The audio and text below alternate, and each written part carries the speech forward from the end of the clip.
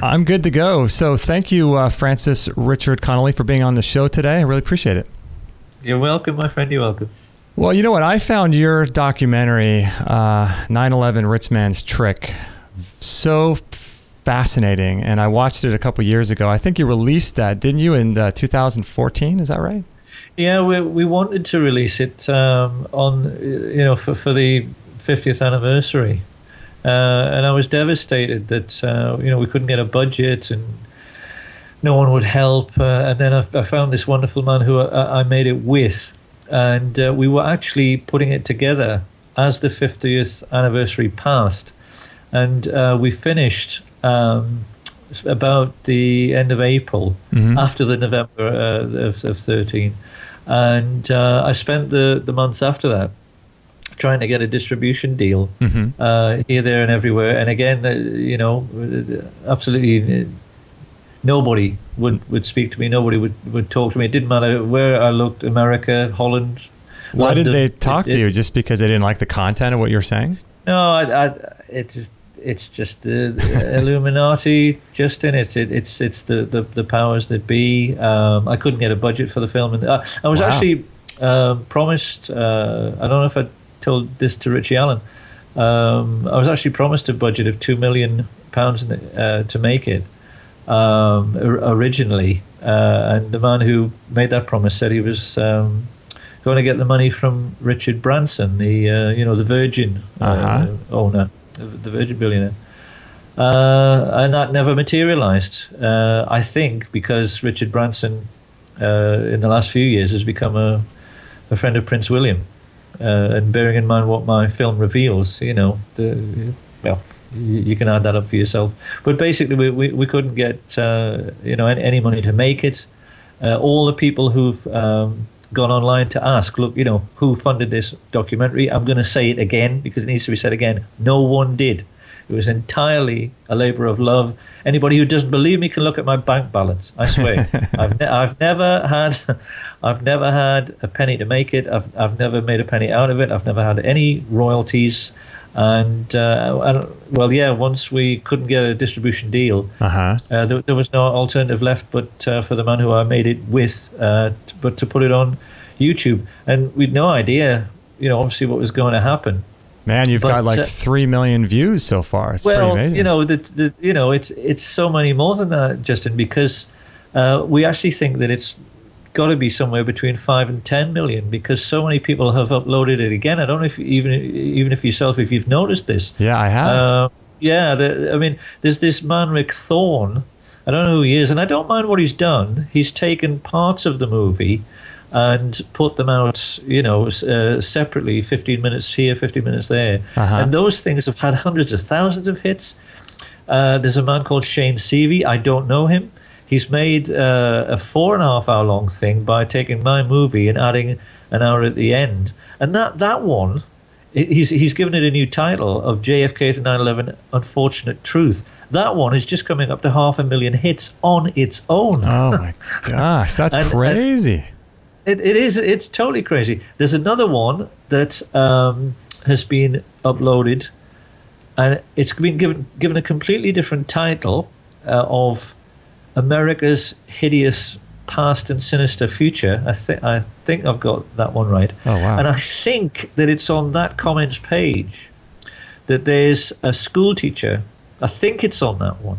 I think on there there's a school teacher who calls himself Dimensional Dali, ah. and he says, "I showed this video to all of my students," and then somebody below says, "You know, well, you're a hero." and we need more people like you. Mm-hmm. And since then, other many other teachers have written to me to say that they've done the same thing. Well, for all I know, there could be a million school teachers out there who've shown it to a class of 30 people. Do you know what I mean? Mm-hmm.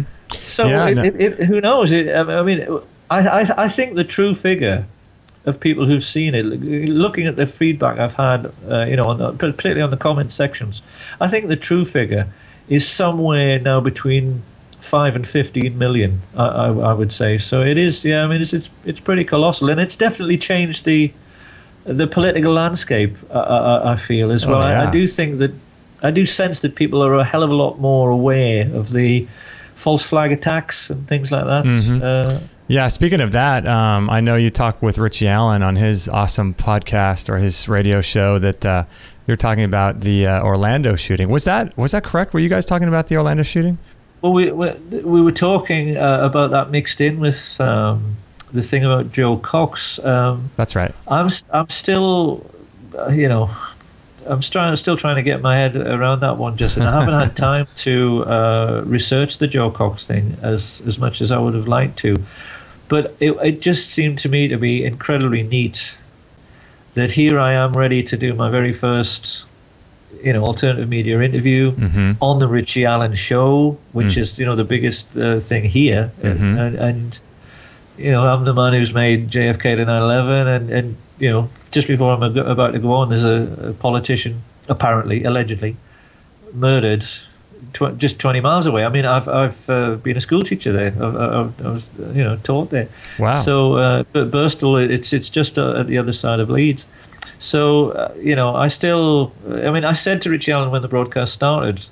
I mean, I was really saying to him, you know, what do you make of this? Because you know, here we go again. It's another lone nut. Mm-hmm. Yet again, we've got another Oswald, and I saw. I thought straight away, oh come on! And it's come out. It's come out because of the research of uh, people here.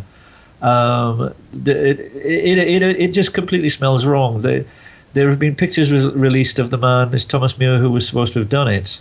Mm-hmm. And then they released other pictures, and people pointed out straight away, well, in that picture, he's got a wart on his cheek, and on, in this picture, he hasn't. Right, right. So it's, it's, it's not the same man, you see. Mm-hmm. And people said, well, he's a, you know, he, he, he hated immigrants. And, and then it comes out, well, he was teaching them English. And if he's teaching them English, how can he be a loony? Right. So, right. so it it doesn't add up. Yeah. Uh, just and it's it's it's clearly another false flag attack in my view. Yeah. No, your your documentary is amazing. I would recommend anyone to watch that. I've watched it a couple times. Uh, just fascinating stuff. And um, yeah, I sent it to everybody I know, and um, I, I, think it's really, really poignant. And I think that what's really cool about the work that you do and the work that people like you do and people like me do, uh, it's really awesome is that I guess we are some sort of conduit for helping all of humanity move a little bit farther forward and realizing that um, all of these things that we see on TV,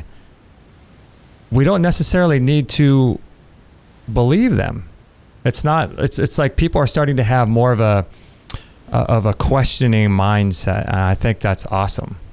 Yes, well, absolutely, Justin. Yes, I mean that, that that's the, the the great thing about it. That's why I'm wondering um, how far uh, th- this can can go uh, before your uh, presidential election. Um, you know, uh, because on the uh, website that goes with the movie, in case people don't know, there's a and everything is a rich man's trick.webs.com uh, website that goes with the movie. Mm-hmm. And uh, on there, I basically have written out a declaration of principle. And there's a web uh, there's a web address uh, with it, an email address with it, and all I've asked people to do is just just to read it and say, you know, I agree. Just send me an email saying I agree, and many many many people have.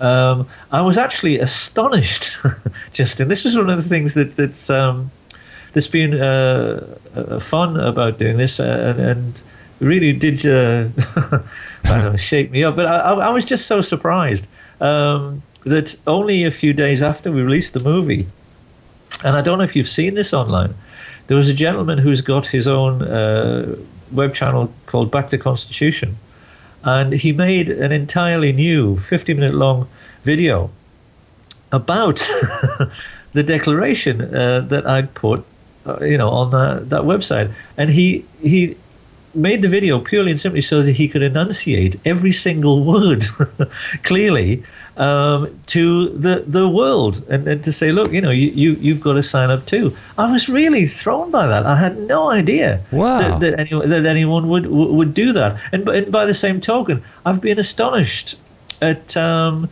how some of the public comments that people have put, uh, you know, have put out have simply been you know words that are from my film that they've just put out again. that yeah. that has really thrown me. I, I, I, didn't expect that at all. You know, it's funny that um, you bring that up because I was just watching a video. I think it was just yesterday. Um, claiming that you are a uh, you're a shill and you're a member Yeah, of the, the Mason. You know, it's funny because it was. Um, Oh yeah, yeah that, actually that one. You know, no, I'm, I'm glad you mentioned that one Yeah. to your listeners because I've only just uh, found that, and um, it's you know again very amusing. I know the one you, you mean. It's obviously it's been made by some American evangelist or something. Yeah, that's what the funny thing was. It's so interesting because he says in the video that you have lots of great things to say and there's all kinds of good information here. Yeah, he contradicts himself. And That's then- what's so funny, isn't it? Yeah, You know? and then the, he- the, the thing is, though, that I find it fascinating that no matter how far time goes on, you've always got these same people in every single generation. Isn't they that crazy? never ever go away. Yeah. Who need a Bible, need a set of rules, need a religion, need a Uh-huh. the, the emotional needs of certain people. In Zen and the Art of Motorcycle Maintenance, and in case your listeners haven't heard of that book, Say that again? Read it. It- Well, Zen and the Art of Motorcycle Maintenance. oh, yeah, great book. By, yeah. By, yeah, by Robert M. Pirsig. Yeah. If if there's anybody out there who hasn't heard of it, you need to read that book. Um, you know, in that book, he the, the way the word he uses or, or the, the phrase that he uses is uh, people with a Buddha seeking nature, people who need to believe in just uh, sort of one thing, uh, and it's it's interesting that um, you know you always get people with that that nature uh, who want to use the uh, the Bible and want to use Scripture uh, as a club to hit you over the head with. Uh, but you know, this man isn't fooling me, uh, and none, neither are any of the other religious people who've commented on the film. You know, the truth Yeah. is, it's jealousy. People have, you know, millions of people have said, yeah, you know, this is the truth. I mean, there's even one uh, comment uh, on the uh, the the uh, the channel that has our original, the, the one that has the three million hits. Uh-huh. There's a comment. There's a comment on on there. I don't know if you've you've picked it up, which starts saying, "The ultimate truth of life has been revealed." I never, I never, I never thought anybody would go that far. Yeah, that's a bit over my- much. over my, it's that's a hell of a statement. isn't it? the ultimate truth of life has been revealed. You just need to watch this movie, and then you've got the the answer to life, the universe. and I know. How are you going to live up to that one? Yeah, exactly. That's a bit but much. the thing is, exa- the thing is that when people do that, you see, you always get these people turning around and saying, "No, no, no, no, no. The Bible is the ultimate truth, or the Quran, or you know, whatever, or whatever. holy book." yeah. And the truth is, it is simply jealousy. All religion, uh, usually religion is about sexual jealousy, generally speaking. Uh, you know, it, it's it's people want, who are ugly wanting to control people who are beautiful, Right. generally speaking. But uh, you know, men as good looking as you, but the and, and, and your, your good lady wife. But you know, in that particular video, it's it's just it just seems so obvious to me that what you have there is, is an American evangelist saying, "Well, you know, you're all listening to this man, and you're not listening to me." Mm-hmm. You see, that's Right. what it's really all about. And it's fascinating too because I was watching it and I was just thinking, isn't it just so bizarre that here's a guy who I, I, I would assume is just a, a Christian um, and he g- agrees with everything you say, but then as soon as it comes to religion, all of a sudden everything you said is wrong.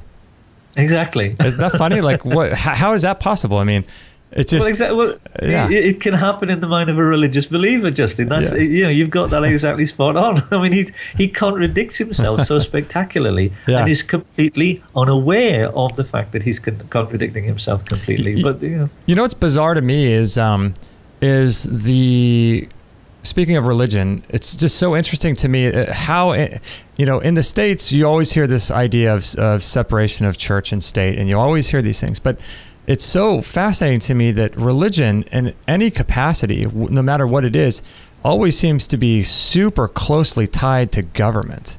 And it, and if there really was a, a separation of church and state, that would make sense. But the fact that there's all these ties, and uh, every, at least in the United States, people, you know, presidential candidates are always claiming to be Christian, and they're giving tax write-offs to pastors and churches and synagogues, and um, it's just bizarre. It's bizarre to me that, I mean, that to me by itself is suspect. well, the thing is, this is why this is why I call the film "Everything Is a Rich Man's Trick," Justin, because you know how can somebody like George Bush claim any kind of Christian values. Right. How, how can a man like Tony Blair, who's you know covering up the murder of, of people like David Kelly, and and you know it's funny you mentioning uh, this because uh, on the front of all of the well daily papers. I should, I should call them daily rags. I mean, God knows what they pass for. But on the front of all of the, you know, the newspapers today, there's all these pictures of Tony Blair, um, and basically they're all saying now, well, he's been caught with his pants down, lying to what's called the Chilcot inquiry uh-huh. about the weapons of mass destruction, uh-huh. and and and saying, oh, I would do it all again because it was necessary. You know what I mean? How can a man like that claim any kind of moral rectitude or, or moral high ground, you know. But they do it purely and simply to try and get the Christian vote. Mm-hmm. That's it, it's just a lie. It's just you know another moment of expediency. Um, and you know the, it's and, and the, you know Donald Trump is is doing the the, the same thing. You know it, it, yeah. you, you know I'm glad you brought that up because as as you say it, it's uh, it's all very filthy and dirty, and it's all uh, a rich man's trick and nothing else. Mm-hmm. Mm-hmm. Yeah. So, what what are your thoughts on um, on religion or God in in general?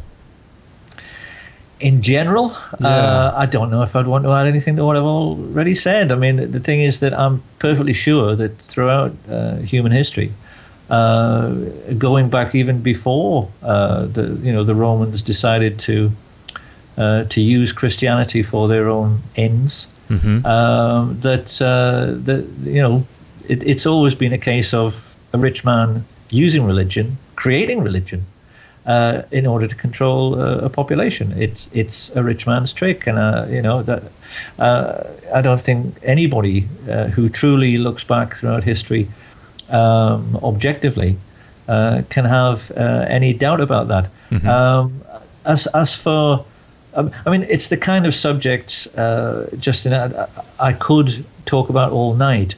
One of the reasons that I don't uh, want to w- with this particular broadcast is that um, it's something that I want to uh, very much so uh, revisit and, and go into again in part two of uh, JFK 9 11 Everything is a Rich Man's Trick because uh, a part two is planned um, I hope that uh, interests a few of your, your listeners. I do want to make a part two.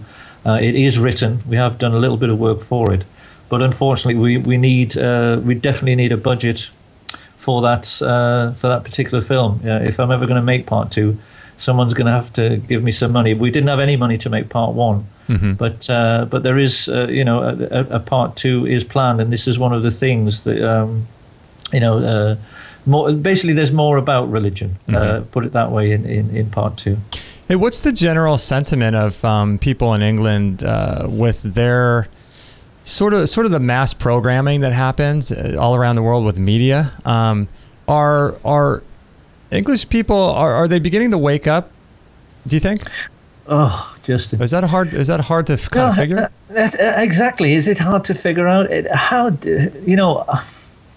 I think that in the run up to uh, making JFK at 9 11, the feeling that I was getting, because I, I've, I've tried sort of over the past half dozen years to just talk to anyone, uh, you know, whether it was shop girls, bricklayers, you know, bus conductors, whoever, people uh-huh. who I met in supermarkets. People often used to think I was nuts. Yeah. Um, but I, I, would try to figure out, you know, it, it's so difficult, isn't it? How do you figure out what the big public is thinking on, on, on, a, on any given day? Uh, but I would have said that prior to the making of the movie, I would have said that no more than, I would say, 1% of the population here uh-huh. I don't know if you if you feel that it's the same in America or not, but I would say no more than say one to two percent before the movie were waking up. I am certain, and uh, again, I don't know if you think it's reflected if if, if it's reflected in the United States. Uh-huh. I am certain that here now that it's at least twenty five percent, and it could be more than that. And the reason I say that huh. is because I cannot get over how many people I have met recently who've said to me, "Oh, you know, conspiracy theory? Yes, tell me more. I want to hear more." Everybody here who I've talked to recently have said, "Yes, the Queen killed Princess Diana." Everybody who I've talked to recently has said, "Yes, 9/11 was a hoax." Really? And and, and uh, yes, and that and one of the things that that most um, you know gave me the biggest uh, fillip, if you like, uh-huh. was it was a lady who uh, works in uh, my local store, and uh, you know she's just a till girl. Mm-hmm. And it was very interesting. I, again, I, I, hope I'm not repeating myself. I think I may be, but but you know, I, I think I did talk to, about her on the uh, the Richie Allen show. Uh-huh. But it, I, I just felt that this was a very important moment because when I first mentioned to her and tried to convince her that all of these things that we're hearing about, you know, the terrorism, they're, they're all false flag attacks, mm-hmm. she ran away from me. She just she just ran, shaking her head, and I thought, well, my God, you know, isn't that sad? Because she's only doing that because she knows in her bones that that it's all false. And then all of a sudden, about, about six months later, she just suddenly turned around and said, "You know what, Mr. Conolly, I'm going to watch your movie. I've changed my mind. I'm going to watch your movie." Really nice. Yeah, out of the yeah, out of the blue. She just and this is just, you know, I mean, I hope she won't mind me saying, but this is you know a, a, a till girl. Uh-huh. And uh, and I think part of the reason is that she's she's just starting a family. Uh, she's just had a child, and and um, and I think that it's made a aware that you know to be a responsible parent, you you've got to think of these things. And of course, you can probably guess the punchline. She starts to watch my movie, uh-huh. and then she and then she can't stop watching it, and and and, uh, and it caused a domestic row uh, she and her husband were were, were rowing because uh, she was watching it all the time on her on her iPad. oh my gosh! I can't tell you Is how many it? times I've heard people say that to me, where there's this causes a sort of division in their home. Oh, it, it, Justin, you know, I, one of the, the best moments, one of the best moments I had, um, and it was only right at the very start. It was when my movie had got to like ten thousand hits and I was so excited about that. I was like, oh, wow, 10,000 people watching yeah, my that's movie. great. And then, and then there was uh, a, a, man who uh, came on the public comments and he said, you know, Mr. Conolly, you've really got to take responsibility here because I started watching your movie. and I couldn't turn it off. And my wife was sitting next to me saying, I'm going to divorce you if you don't turn this off. Oh my gosh, that's crazy isn't, that, isn't that so? I I've had so, some great fun. Wow. You know, with those kind of things. Yeah, it's it's um it's obviously super super divisive, and people don't wanna don't wanna tackle those issues because I think for most people it's uh it's just really easy to sort of uh, what's the right word? It's really easy to just take the mainstream approach with everything well, because well, you're you never going to be attacked. Again, I'm, I'm, grateful for you bringing that up because um, I would like to say hello to a, a, a wonderful uh, man, a, an American author called Lawrence Lee Rowe Jr., who's uh, been corresponding with me. A very decent man, very very bright man, and uh, he summed this up beautifully in a uh, in an email that he sent to me, uh, where he said that people can in America he feels he feels that your fellow Americans can only process this whole problem of the terrorist attacks being false flag attacks up to a certain point. Uh-huh. And I, and I thought, well, yeah, you know, that's that's that's beautifully beautifully said and, and, and perfectly said. I, I love it when you know people use words really skillfully, and mm-hmm. he's he's summed that up uh, beautifully. Uh, there are a lot of people who just can't face it at all. Mm-hmm. Uh, I'm sure you found this many, many times. Oh, yeah. Uh, certainly, I get it. I get it here, as, as I did with that till lady. Mm-hmm. I'm sure you found this yourself there are people who simply cannot face it because it's as if you'd be pulling the rug out from underneath their feet. You mm-hmm. know, it's like what what what is there that's left to believe in? Mm-hmm. If if your government is lying to you, um, you, you, know, th- there was there's only in the last few days, um, and I, I, I, can't even remember which which of the the, the ripped off uh, versions of my film uh, these emails appear, and if people look for it, I think that it's on the uh, the one that's been retitled. Uh, oh, really? America's hideous hideous past. But there was somebody who wrote in, and and they gave it. They're kind of typical of these kind of people. Somebody wrote in and said, "Now that I've seen this movie, I just I just don't know what to do, and I, and I'm terrified, and and you know it, it, it's like this is the the end of my life, and, and you know I, I, don't know where to go from here, mm-hmm. and and so and underneath that. Somebody said, "No, no, no, no, no! You shouldn't feel that way. Knowledge is power. Yeah. You should feel empowered by this this great movie, and you should just go around telling everybody about it because this is us fighting back, you know. So yeah, that's so. it's so interesting people's uh, reactions to it because, like you said, some people are like, "Oh, you know, I cannot deal with this; it's too much. Yeah, you know, I'm powerless." But then, yeah. you, you know, when you know better, you do better, right? Exactly, exactly, and and you know, you know, to all your American listeners, I, w- I would say, don't get depressed, don't get down about this.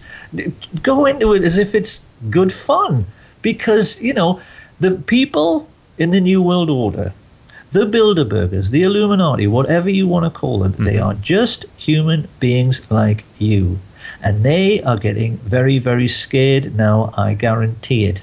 We have a saying in this country uh, because it, you know we have a, a monarchy, that uh, the head, uh, uh, sorry, it's uneasy lies the head that wears the crown.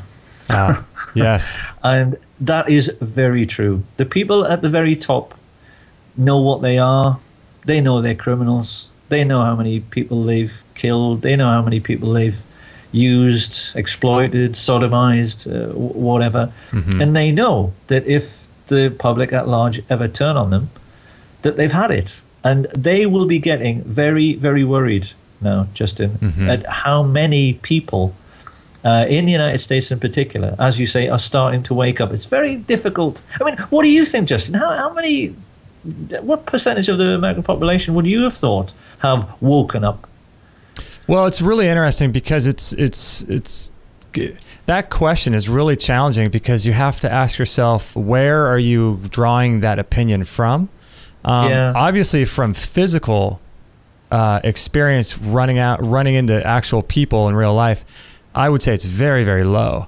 But then I kind of reference what you said when you see what's going on online and you see a, a documentary like yours with, you know, 10 million views yeah, you, you have yeah. to think, you know, isn't it bizarre that so many people are watching this? So in my close circle, it's it's probably you know one or ten percent, but in actuality, I think people are waking up. I really do. Yes, well, I, I, I, would I would say you know generally speaking, yeah, yes, that's true. But I've always said, and and you know, again, I'm glad to have the the chance to say this, that until the day that the people, the, the strongest voices, the best artists on uh, the alternative media somehow I, I, keep referring to crossing the bridge. Until the day that we can you know become mainstream ourselves um, i don't think we'll win this battle. And that's why i've been trying so hard for so long to get a distribution uh, deal uh, for you know this this movie and to get it in in theaters uh, all around the world. People have been writing to me uh, from uh, f- French Canadians have been writing to me, Spanish people, Portuguese, Brazilians. Lots of letters uh, have come from Europe, uh, Dutch, German people. Mm-hmm. And so many people have said, Look, Mr. Conolly, please will you let me be the one I will work for free. I get this all the time. I will work for free, sir, if you will just let me be the one to translate your movie into Spanish, Italian, French, whatever. Oh, wow. Because I honestly believe that your movie should be in theaters in my country. Now, I've taken this information to all of the, what I thought were the, the decent men, the upstanding men in Hollywood I've tried to contact Spielberg, George Lucas, Frank Marshall. I've tried to get in touch with Kathleen Kennedy because they're married. Mm-hmm. Uh, I recently wrote to Kevin Costner. None of these people will ever reply. None of them. Now, I find that very sinister. I, re- I really do. It's, it's made me realize that in this world, the Illuminati are always really, really careful about controlling any large amount of capital that's deposited anywhere, mm-hmm. whether it's George Lucas's billions or Steven Spielberg's billions or whatever. Mm-hmm. They always try to make sure that that kind of finance is not used to hurt them. Now, I don't know how they're controlling these people.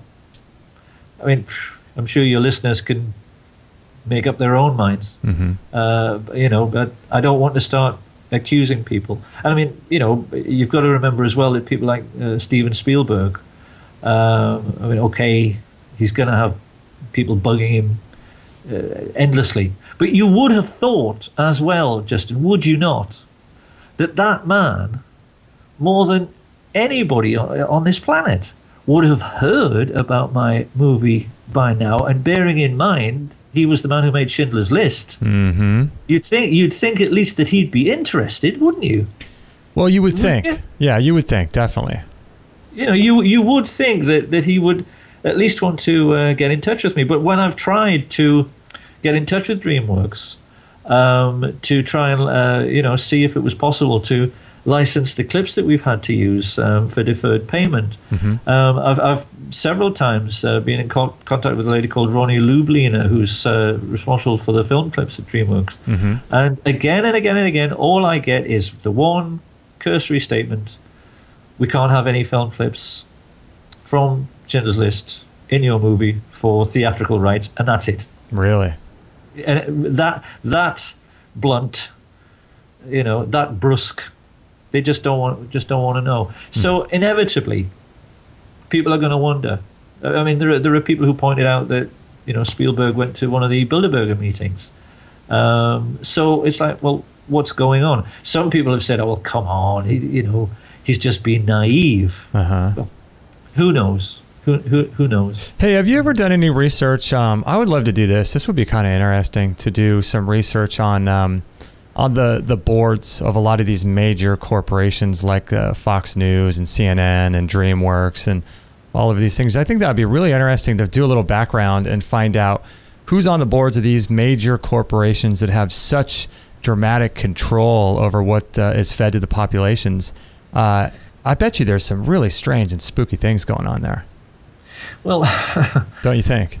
Yeah, absolutely, Justin. But the, the trouble is always, you know, uh, getting the information and whether or not the information itself is, uh, you know, reliable.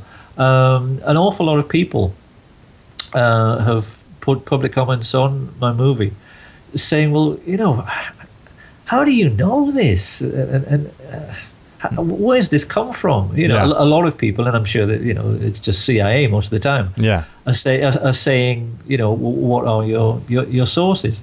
The thing is that in researching my movie and in writing my movie, the, the most important thing, and I've, I've had this, you know, I've tried to explain this to Lawrence Lee Rowe. It's all about reading between the lines. It's all about realizing that there's disinformation in everything.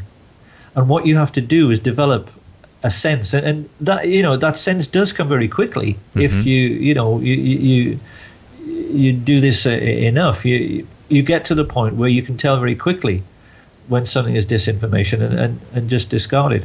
But I would have thought that since you know Bill Hicks found out so much, um, that even the you know the information that you can find out about who really runs these corporations and, and who's really behind everything.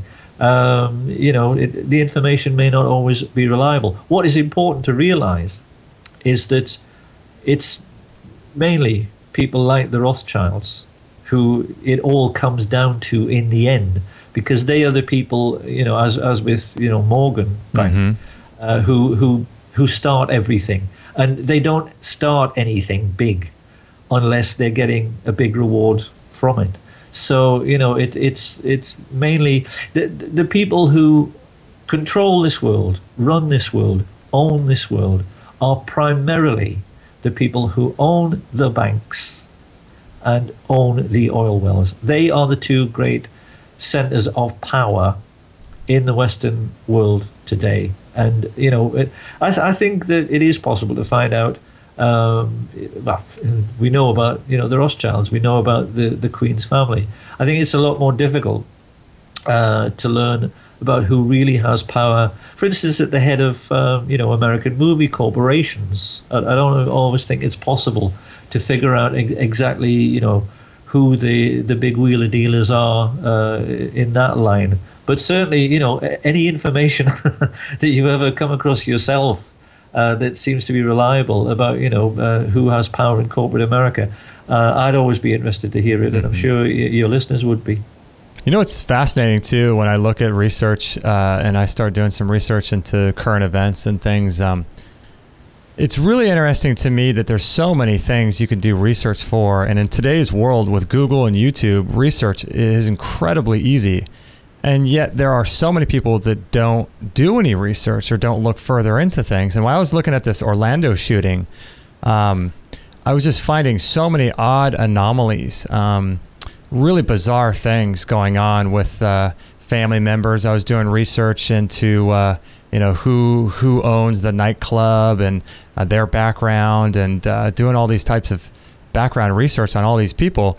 But you start to see these videos pop up and and some of them are quite compelling. Yeah, the, I mean, the, I, I, if there's one thing I think that um, gives me so much hope, Justin, it, it has been the tenacity of the people who search for truth today and how far they're prepared to dig and how far they're prepared to go. One of the most interesting things uh, that popped up um, almost immediately uh, with the Jo Cox shooting. Um, and I'd better get this uh, information right. Her husband was asked to leave, let's put it that way, uh, a post that he had with the Save the Children Fund, which is a charity that we have in Britain. Mm-hmm. And a lot of people have said that Save the Children, like many other things, is just a classic rich man's trick. It, it, it, you know, it's, it's just another one of these organizations uh, which are a front for child abuse. And Jo Cox's husband, apparently, uh, was involved with that organization, was asked to leave, uh, if I've got this right, for inappropriate behavior. Mm-hmm. Make of that what you will. Mm-hmm. And he had worked previous to that for Gordon Brown. Well, Gordon Brown is one of the people who uh, researchers have found has had uh, close ties to the Masons in Scotland, who seem to have been involved. Uh, I don't know if you uh, remember the Dunblane massacre. remember that one? I don't know. No, the the Dunblane massacre. Uh, how long ago is this? This is now uh, going on about twenty years ago. But it was it was um, Andy Murray, the tennis player. Oh right was was at the school as a six year old or seven year old or something when uh, apparently we were told this another you know lunatic uh, Thomas Hamilton burst in and shot all the teachers and shot all the, the, the children. And it at first it was giving uh, you know people nightmares. Uh, it's ch- uh, children who I knew at the time were, were, were all spooked out by it. Well, it's it's come out over the years because of the, the research that these wonderful people have done. That there was a, a link to the uh, Scottish Freemasons, and uh, a politician who's very, who was very well known here, mm-hmm. uh, Malcolm Rifkind. He apparently uh, bought the ammunition for this loony, or apparent loony, and then it was discovered that uh, the the official version, which was that he walked onto the pro- the premises alone and did this terrible thing alone uh, was completely false. When people went to Dunblane and actually asked the people who were there, what did you see? They said that there were several men hanging around it and that several men took him on to the property. Really? Well, exactly. So, so, so you know, what, what, now what's going on? So then people start looking into uh, Thomas Hamilton and his background and, and discovered that he was a convicted felon who had already served time, if my memory serves, for some kind of child molestation. Well, in Britain, I don't know if, if the law is, is similar in, uh, in the United States, it may not be. But in Britain, if you're a convicted felon, you cannot have a firearms license. And it, so everybody was saying, well, how did he get a gun? Uh, and so they looked, you know, into this deeper. Mm-hmm. And a Scottish newspaper uh, discovered that uh, he'd uh, had as a referee on his gun license uh, a very senior member of Tony Blair's government, who at the time was head of NATO. I think I won't say his name.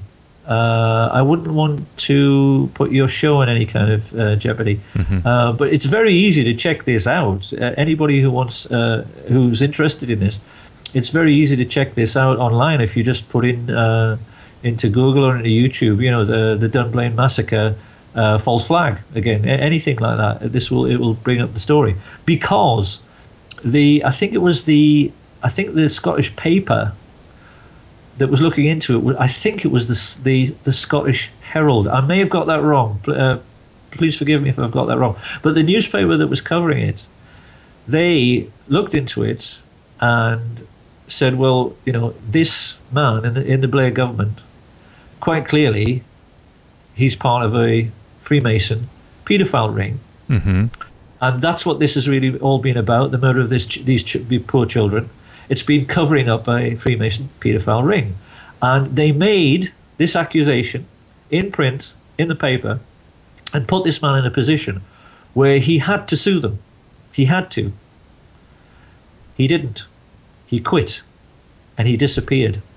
Mm. Make of that make of that what you will. Mm, and, and and as you say, that has come about purely and simply because of the tenacity and the dedication of all these wonderful, uh, you'd have to call them amateur detectives. Oh yeah, who, who, you know who who who've been uh, working online. I mean, the the Brussels bombing was a, a, a classic example. As soon as it happened, everyone around the world, like you and Richie and me and, and you know everybody who's looking into these things all the time, they immediately said, "Well, pff, this looks like another false flag." But people were looking, trying to find evidence to say, you know, something you could take to court to say, look, that doesn't add up. And there was this wonderful Liverpudlian, this man with a Liverpool accent, I don't know who he is, who uh, found this video that he slowed down. And it was very clear that the bomb was placed in the ceiling. And how does a, you know, Islamic terrorist, you know, put a bomb in the ceiling? Mm-hmm. It's absolute, it's it's absolute nonsense. And and by the same token, you you know, it, it makes me wonder why some people still so easily believe what they're told because we all know that every airport and pretty much everywhere else nowadays, but certainly every airport yeah. is rigged up to the nines with CCTV cameras, and it's all HD stuff today. You've got pin sharp oh yeah pictures everywhere, uh, haven't you? If you go to an airport, they're going to be able to you know see the, the last dimple on your nose. It's it's absolutely clear as a bell. Uh-huh. Well, we were told that you have an Islamic suicide bomber walking up to a check-in desk and exploding a bomb. Well, why isn't there any video of that? And why isn't there any video of the same thing that happened in Paris? It's because these things are false flag attacks. Well, it's, it's the same thing with um, with the 9/11. Remember the video that uh, the service station had across the street from the Pentagon that that so just so happened exactly. to be taken away. Exactly. What happened to that video? Exactly. You know? And and there was they they said there was even a, a video on the roof. In fact, when I was um, when I was researching uh, that more deeply, uh, when I was just about to go down to London to meet the uh, the head of current affairs at ITV. I'd like to talk about uh, those people in a moment. Yeah, I'll I'll, I'll lead into that. Mm-hmm. But when I was uh, putting a dossier together uh, to show to him, to uh, show how easily the the entire you know official story of 9/11 can be demolished. that was the one of the main points that I made was that there was a video camera on the roof of the Pentagon pointed in the right direction that would have seen the plane coming in. Well, why haven't we seen that video? I wonder why. That's that's shocking, isn't it? Exactly. Why have we never seen I that? I wonder that, why. That, I wonder. I wonder. but uh, now that we've got into that, uh, Justin, I, I, would like to get into this uh, with your uh, with Donald Trump, uh, and I would like to use this opportunity, if you don't mind, sure, to directly talk to uh, Mr. Trump uh, and this is what I'd like to say. Mr. Trump, over the, uh, the past few months, uh, partly because of the huge success of my movie online, I've had the opportunity to uh, meet and discuss with uh, several senior figures in the British establishment. I've had a face to face meeting with a lady called Dorothy Byrne, who is the head of news and current affairs at Channel 4 in Britain. I've had a face to face meeting, as I've just said, with the head of current affairs at ITV, Tom Giles. Mm-hmm. And I also had a, I suppose, what you would, you'd have to call a spat by email with a man called Meirion Jones. And I know this will sound strange, but I'd like to spell his name, Justin, if you don't mind. Because, Meirion Jones. Uh, it's it yeah, it's a Welsh name. Okay. And it's it's spelled M E I R I O N, if memory serves. Okay. Uh, just in case any of your listeners want to research this, because Meirion Jones was the uh, the head of Newsnight. He was the, the head man at Newsnight, which is the flagship news program on BBC Two. It's on late at night uh, in Britain uh, on BBC Two. During uh, the time that the Jimmy Savile expose was happening, okay, uh, he was entrusted with investigating it.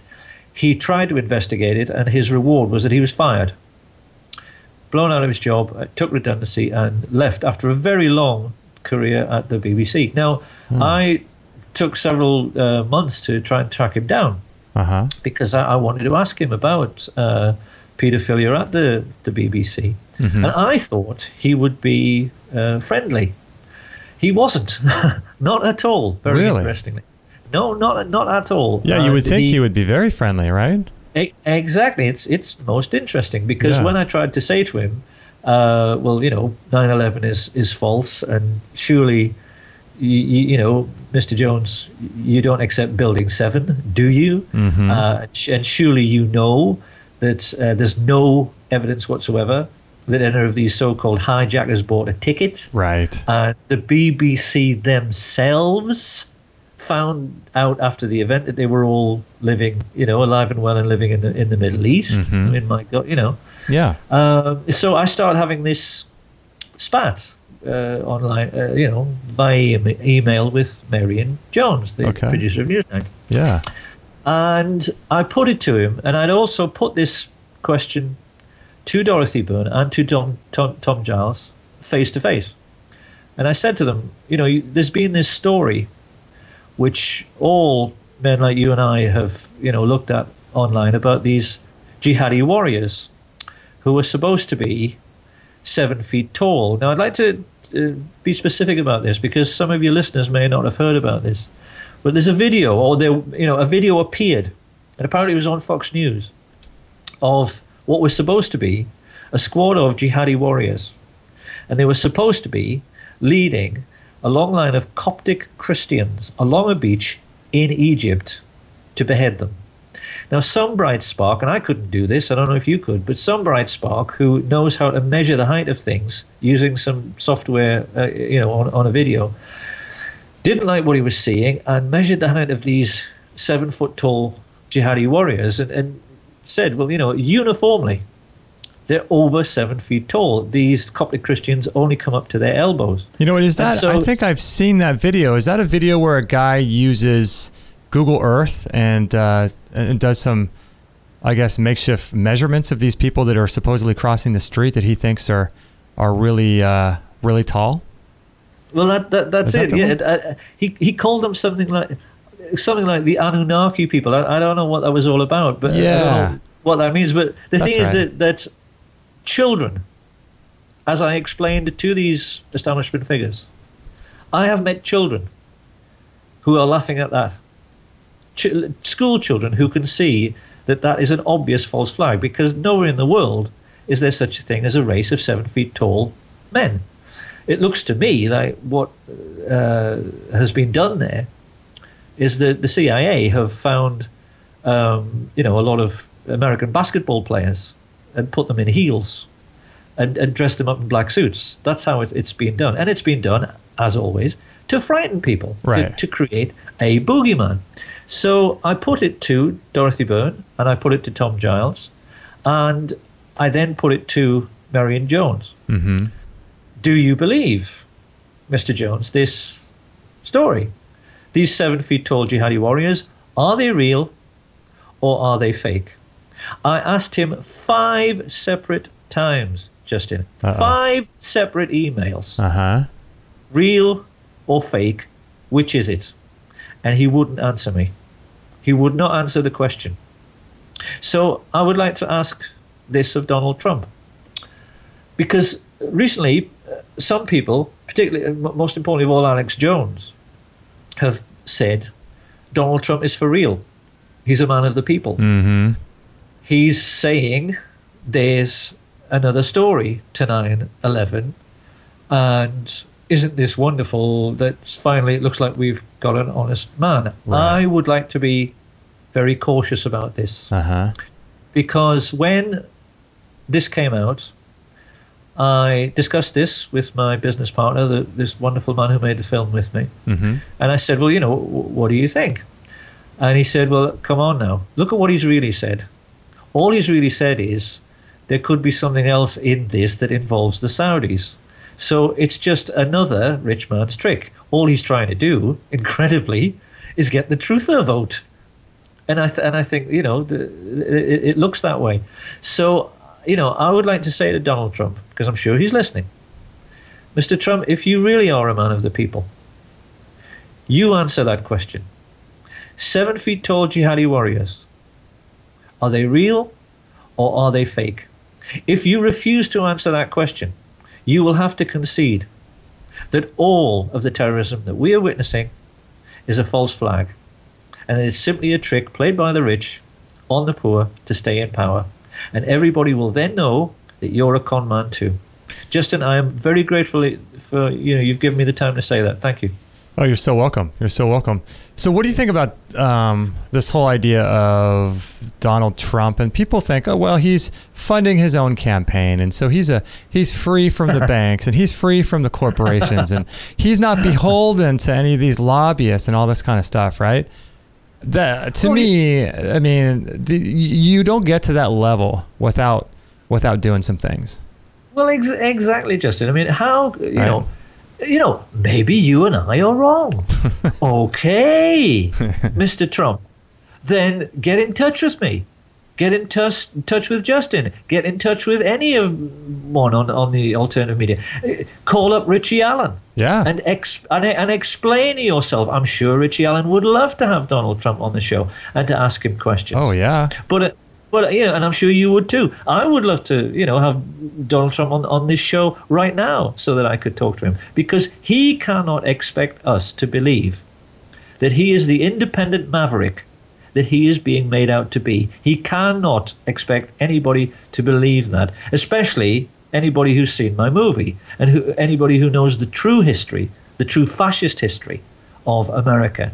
My business partner pointed out that he's always been a member of the Billionaires Club, and really, you know, is anybody at that level, you know, going to be clean?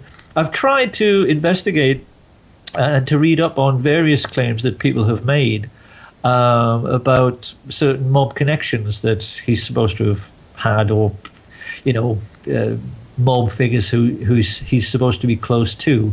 Um, there didn't seem to be a lot there, um, but you know, we all know what a tip of an iceberg uh, looks like. I mean, you know, it- these people are very adept at hiding their their true colors and their true faces. I will say this. I like some of the things that Donald Trump has said on you know in, in interviews. He must be a man who takes care of his health and strength, or he wouldn't look the way he does at that age. Mm-hmm. And I admire that. And let me say that to him very directly if he's listening. Okay, I admire that. Mm-hmm. I admire his stance on drugs because I hate everything to do with drugs and, and anything to do with ingesting substances. Mm-hmm. Um, and I like that too. But I'm, I'm afraid that from what I've heard so far, that it looks, and, and certainly with all this election fraud that's going on, that's you know, it's obvious that becoming more more obvious that Hillary Clinton has stolen all these primaries, um, you know, from your uh, candidate Bernie Sanders. Yeah. Uh, bearing, yeah, I mean, every- you know, this there's so much of this that's that's coming out. It looks to me, as the writer of JFK to 9/11, it looks to me like all you've got here is another classic example, just as you had with Kennedy and Nixon and all the others that have gone before, Uh-huh. where you have the establishment controlling both the major candidates and that and and thinking that whoever gets in he is going to be their man, and as I said in the film, and on their side. They got it wrong with Kennedy. He conned them brilliantly. He was a brilliant man. People still don't realize how brilliant he yeah. was. You know, uh, he he was able to to get there. You know, and then he had to enlist the, the the help of unsavory people to get there in order to try and you know get the unsavory people out. But I, on this occasion, we all know Hillary Clinton. You know, is a comes from a, a, a criminal syndicate. Uh, to what extent Donald Trump is every bit as bad? Well, you know, I'll leave it up to him. Mr. Trump, answer the question. Answer the question that those three members of the British establishment refused to answer. Seven foot tall jihadi warriors. Are they fake or are they real? If you'll answer that question directly to me, bluntly, with one word, I might begin to believe that some something that you say is real. But until you do, I'm going to go on believing that you're, you're the same con man as all the rest. There's something bizarre about human nature that is is um, we say that we want to be free, but we really don't because there's so much freedom. True freedom is such uh, such an incredible responsibility for people. True freedom to be truly free uh, requires a lot of responsibility, and people don't realize. Like they say they want to be free, but um, they're not willing to study contract law. They're not re- willing to study the deeper aspects of what it means to be free. And it's easier to accept the benefits and privileges that the government hands out. Like m- all of these things make life easy. But when you do that, um, you're beholden. You become a slave. Yeah, yeah, you, you become, become, a slave. slave. You know, uh, uh, JFK had this really great quote. Let me read this real quick. Um, speaking of him, he said, There's a plot in this country to enslave yeah. every man, woman, and child. Before exactly. I leave this high and noble office, I intend to expose that plot. Yeah, and that was only days before he was murdered. Yeah, it was like seven days before. Yeah, isn't that seven crazy? Yeah, well, it, it, you know what's going on, Justin. You're a wise man. Uh, yeah. The thing is that, that what you said there about you know uh, freedom and some people being afraid of it. That's the reason that uh, you know a lot of people turn to uh, religion. Mm-hmm. You know that there was um, there's a line in a book by Ayaan Hirsi Ali, and I think I think the line is in the caged version. I may have uh, caged virgin. Mm-hmm. I may have got that wrong, um, but she uh, she's talking about her her mother and saying that you know she realized after a time that what it was with her mother, who was a, a religious a religious fanatic, was that her mother drew comfort from clearly defined rules of behavior. She actually n- needed someone to tell her how to dress, how to walk, how to speak, and even how to think, because left to herself, she was afraid basically she would blow it. Mm-hmm. And there are a lot of people in this world like that. Um, I've seen interviews uh, uh, there was one I saw when I was uh, very young. I think I was only about 15 mm-hmm. with a gentleman on the BBC, um, and he was very, um, very unique uh, in a way because I'll never forget these these staring eyes that he had. He was like really a, like a fox, and he had a foxy look on his uh, face, and he had this tremendous energy, and he had a very, very, very polite very direct way of speaking in a British dialect like this, uh-huh. and and he was so intense as well.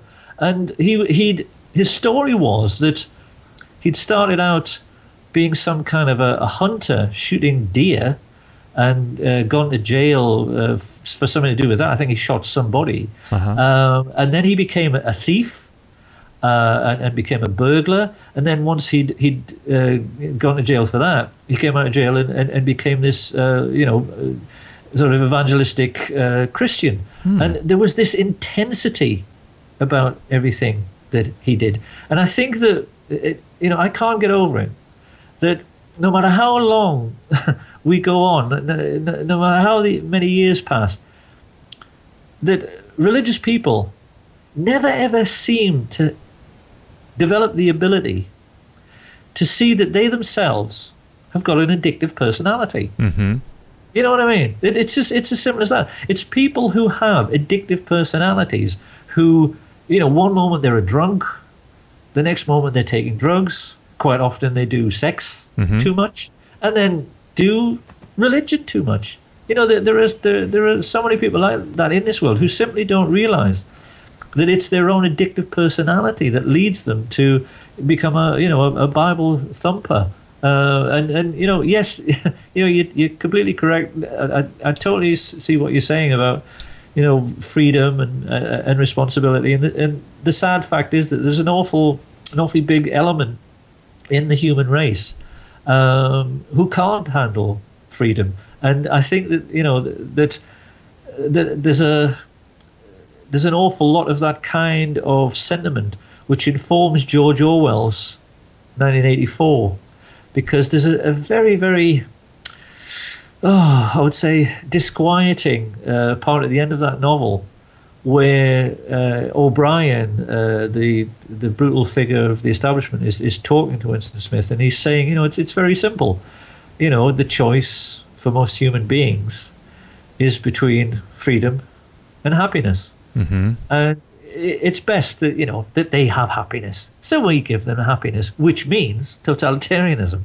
right. you know, because most people can't handle uh, freedom.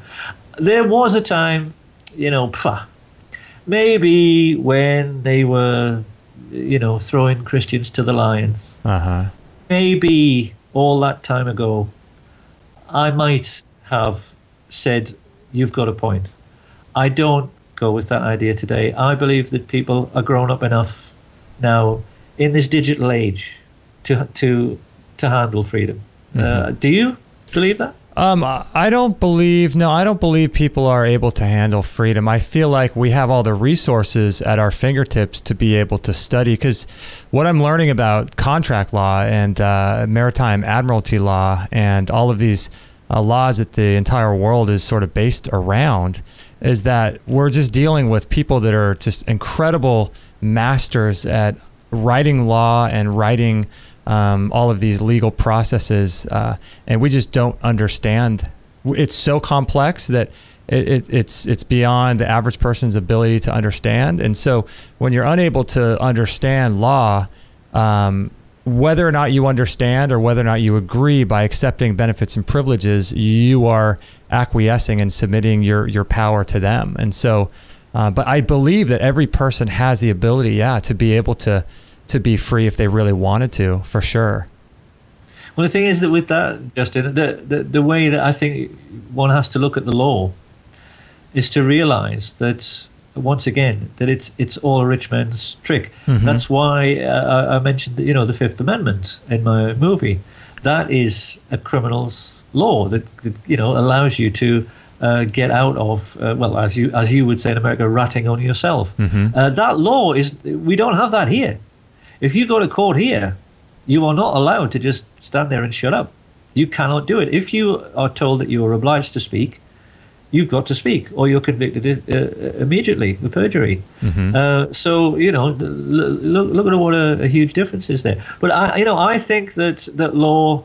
No, I, I think law. You know, so long as you look at it with uh, through the right um, telescope, if, if you know what I mean, mm-hmm. it, it is uh, law is always made with one eye on the privileges of the rich. Oh yeah, and it's it's it's it's always made, you know, to uh, you know to to keep the the poor in their place. That's yeah. what you know law is about. Oh yeah, yeah. So it's it's interesting. About geez, twenty years ago or so, I, I read what originally got me into um, the the political side. But once once you start doing research, you re, you realize as you well know, that uh, every industry on the planet Earth is, has been infiltrated and has been subversed, and we're given some sort of strange, um, alter alternate reality of what's what's really going on. And so, as you know, I do an alternative health show, and it's the same in the alternative health world as it is in the political world.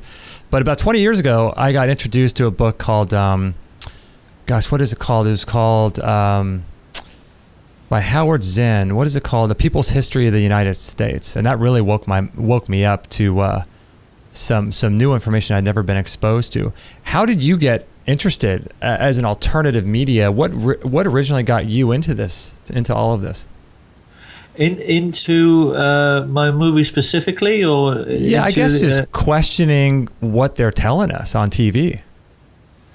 Um, How did you start? Well, well, well, I mean, obviously, the um, it was the Kennedy assassination throughout my life. Um, you know, that that made me, uh, you know, begin to question everything. Um, again, I, I, you know, I'm loath to sort of bore people by uh, repeating too much of what I, I, said on the Richie Allen show, but that was where it really started for for me, Justin. I, um, my parents were, you know, both had a very strong aesthetic sense. Uh, when the Kennedy assassination happened, uh, you know, they and my neighbors were saying over and over again, you know, that this this is you know been done because Kennedy was genuinely for the people, and he would have given, you know, ordinary people a, a chance, and he would have made a, a, much better life for you know the, the working man, even the working black man, uh-huh. all over all over the the, the globe and uh, that was what um, really started uh, me off, even uh, as a, as a child.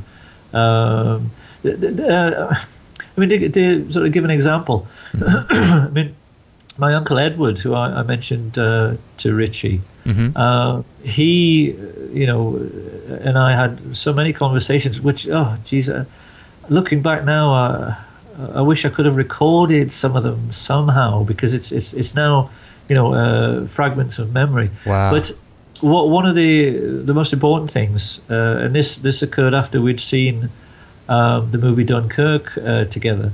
What movie and I was that? asking asking him about that and, and, and saying, you know, what what was it that was uh, you know bothering you about that and and what was it like to be there at the time and and he and my other uncles were saying that all the way through the Second World War uh, that they, they they were saying to themselves, "There's something wrong here. Something doesn't add up." Uh-huh. And, uh, and I don't know if you've ever seen the movie uh, Justin, The Enemy Below.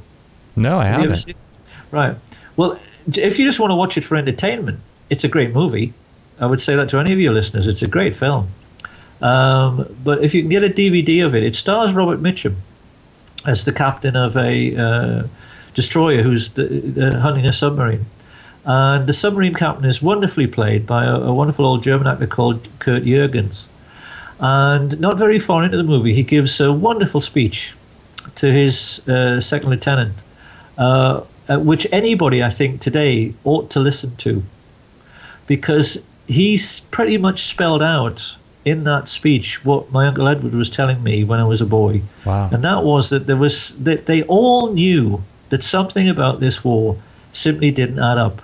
And that was what got me investigating things and, and looking at things differently right from uh, my youth onwards. And, you know, it's taken me a, a lifetime to find out what it was that was making those men uh, so much uh, ill at ease with the Second World War because even though they didn't have the facts before them, mm-hmm. I think really they knew that this war was a war for profit, just like all war wars have been since. Right. They didn't know at the time that American capital was building, and, and British capital and, and, European capital. You know, the the, the the rich were you know as much in league with uh, you know, German arms manufacturers as they were British arms uh-huh. manufacturers uh-huh. and, and, American arms manufacturers. The whole thing, you know, was was being done so that they could rob the treasury. Uh, and so that really is, you know, where I started, you know, with the uh, the whole alternative uh, view of life. And as time has gone by, it's now become more and more obvious, and more and more important that people know it. You know. Mm-hmm.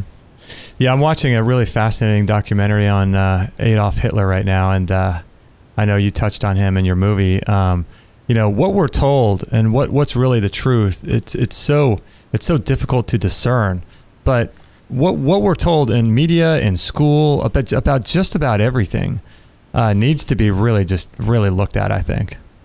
and It, it all needs to be re- rewritten. Just yeah. that that is uh, you know, I hope we have a revolution. And what we need to do, uh, more than anything else, is to rid the world of the CIA and MI5 and MI6 and all the other military intelligence agencies in the world. And because they are running the world uh, at the behest of the super rich. And once we've got rid of them, there is going to be the most colossal amount of work for you know the writers of this age because you know we need to write history again uh, as I've tried to to do uh, with my movie. And you know, you can't do it all in three and a half hours. That's why you know I want to make this part two. Uh, you know, of JFK to 9/11. You can't do it do it all uh, in in three hours. But there, you know, right stretching right back to before ancient Greece, uh, they have taken history and presented it to us in a way that suits rich men. We've mm-hmm. never had the whole truth. The wisest saying I've come to believe in adult life is that there's two sides to every story. Mm-hmm. Because, my God, when you start to look into history, there's always another side to every single story, always. And, you know, in our case, the, you know, with, with what happened uh, during the Second World War and, and everything since, particularly the, the Kennedy assassination, the other story that we don't hear is, you know, a, a crucial story that we need to know. Mm-hmm. What are your thoughts about the the Zionist, all of that stuff that's um, a part of a part of uh, mainstream culture?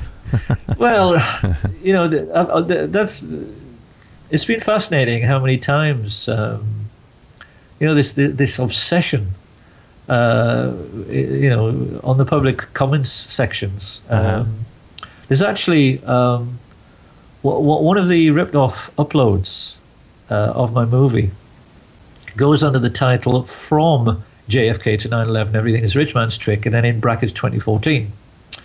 And there was a gentleman who put a, a comment on that stream where he said, would anybody mind if I be the, the first person to use the word Zionist on, on, this stream? just just to get the ball rolling. Yeah. and I was laughing my head off yeah. for hours uh, over that because it's it's such you know a, a, a ridiculous um, obsession. I think that you know I'm aware that the reason for it mm-hmm. Is that so many Americans have lost their lives, lost their homes, lost everything to you know the banks who've defaulted and, and, and took away the home that they they were paying for, and that people have blamed uh, the Jewish bankers. Now you know anybody who says I avoid the Jewish bankers in my film is just obviously trying to discredit my film and trying to discredit me. My God, I start the story with the Rothschilds, and I end it with the Rothschilds. You know, how on earth am I, you know, supposedly avoiding, uh, you know, the, the, the issue of, of, of, Jewish bankers? Right. But but there there is such a danger here, Justin. There's there's such a danger here. Uh, the gentleman who I told you about earlier, the back to Con- back to Constitution gentleman, uh-huh.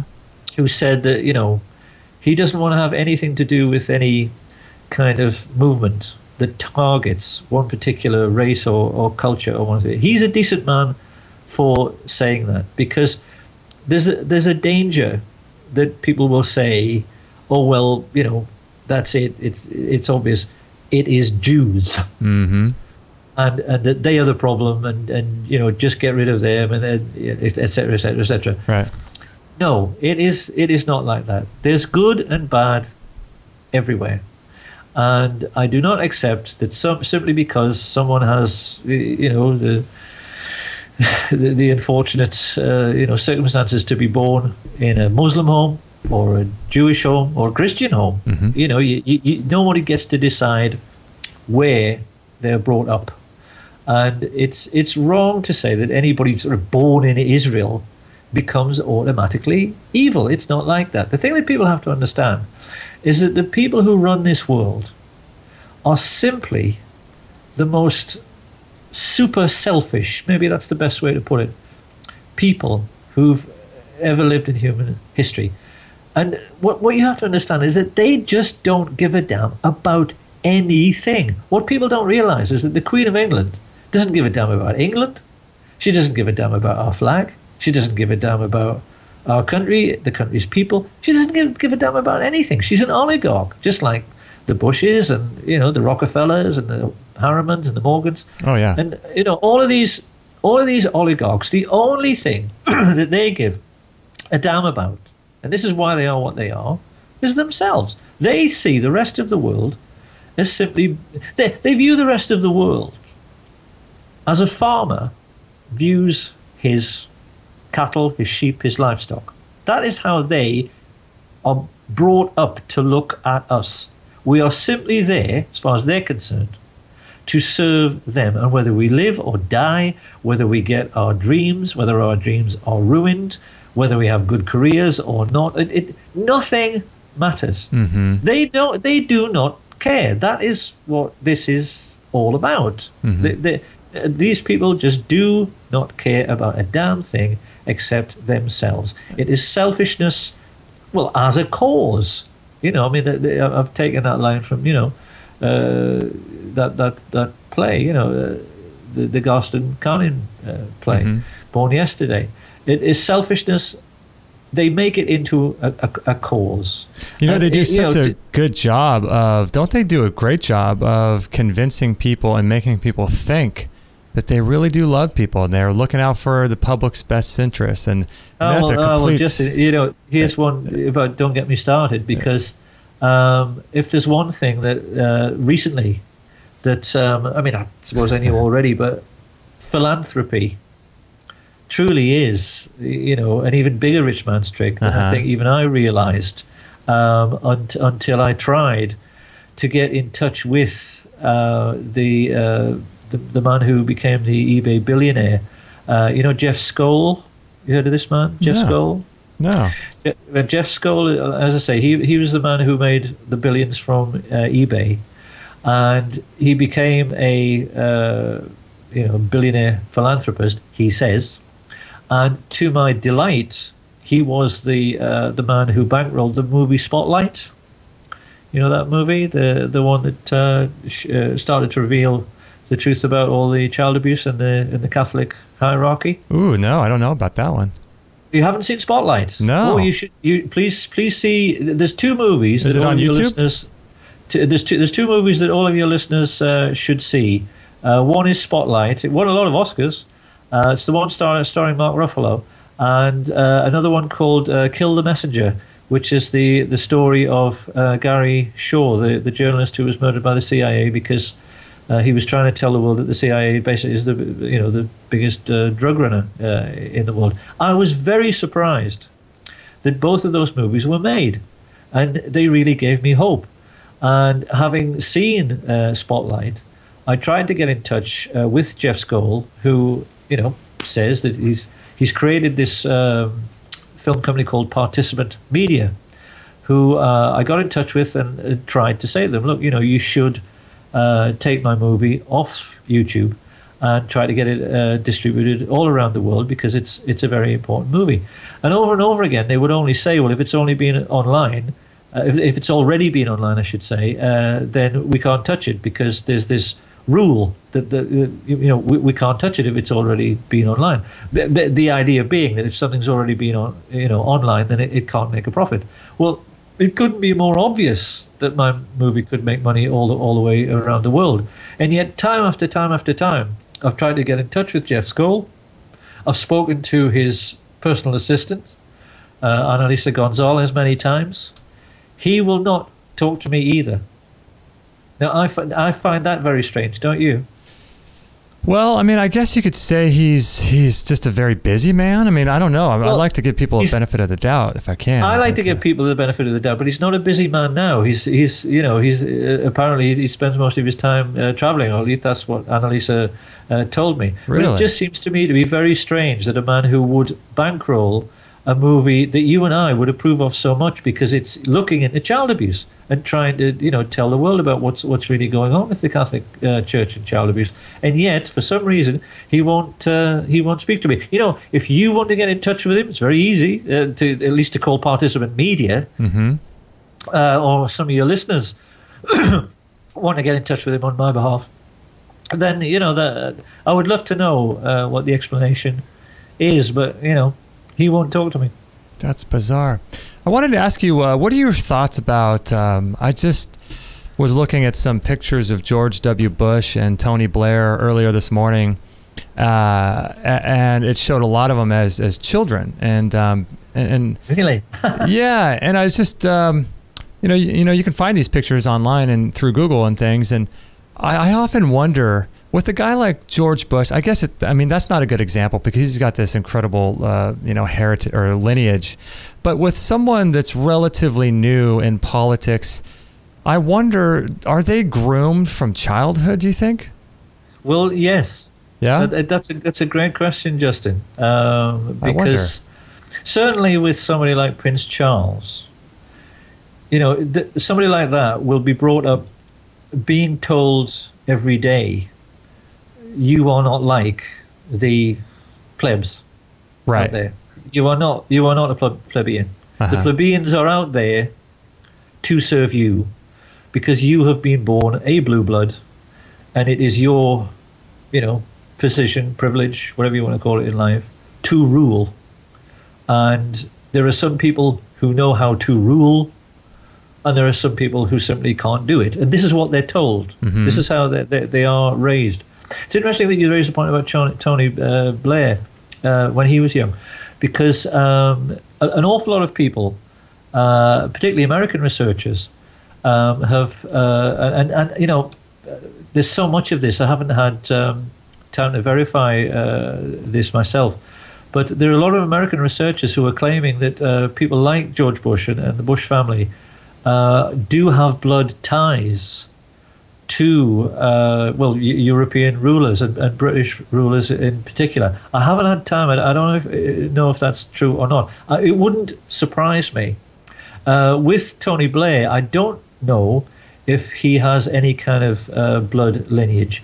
But the thing that was most interesting with Tony Blair was that he was. Um, as, uh, you talk about grooming. As Mhm. far as I'm, I'm aware, that he he was uh, at school uh, at a place called Fettes College, and when I was a master at uh, Saint Peter, Saint Peter's School, um, when I was the the squash master there, um, I had to take a, a, a sports team up to Scotland uh, for a, a sports tour, and uh, for the first time I went to the uh, the two biggest schools, um, certainly the two poshest schools, Mhm. uh, most expensive schools in uh, Scotland, which are Edinburgh Academy and uh, Fettes.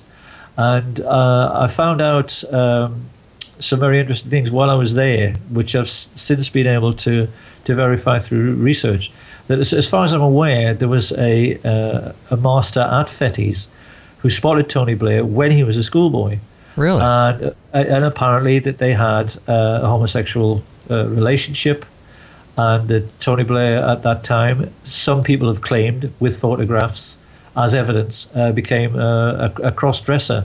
And, and that it was uh, that kind of thing that uh, basically got him um, on the fast track, if you, you want to put it that way, uh, to uh, being somebody who later in life uh, would be uh, groomed into uh, being a politician.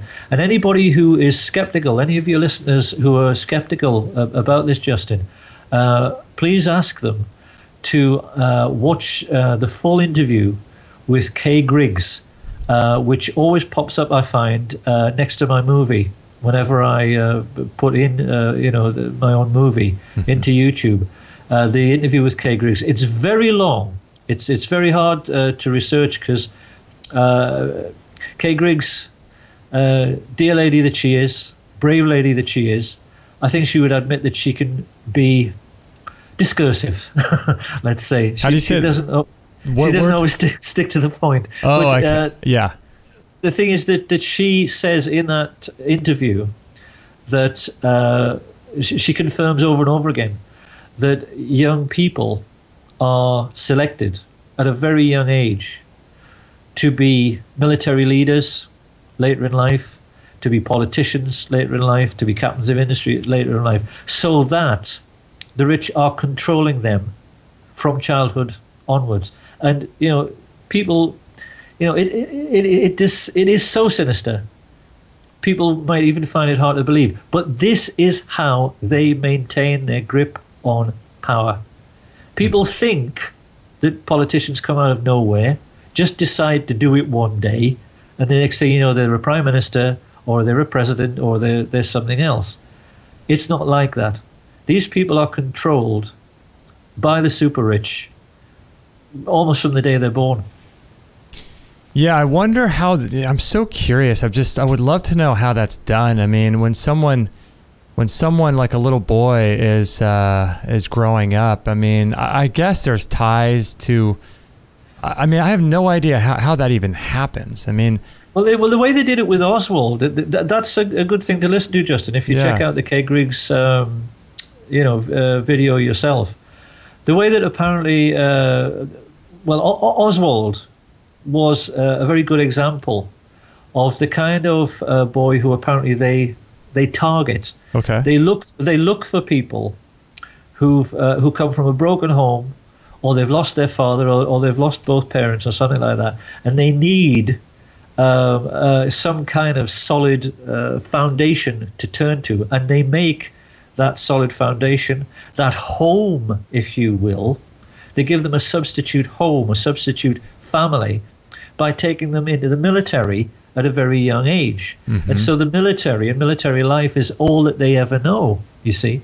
And, and Oswald, uh, apparently, um, was one of the ones uh, who, when they found out that he was, you know, homosexual, uh, because apparently uh, he had a, a, gay relationship with uh, Jack Ruby and, and, George Senator. They were all part of a, a same sex uh, club. Mm-hmm. Uh, that's the kind of thing that the military use uh, for intelligence because then, especially in those days, you see, mm-hmm. they've totally got them compromised.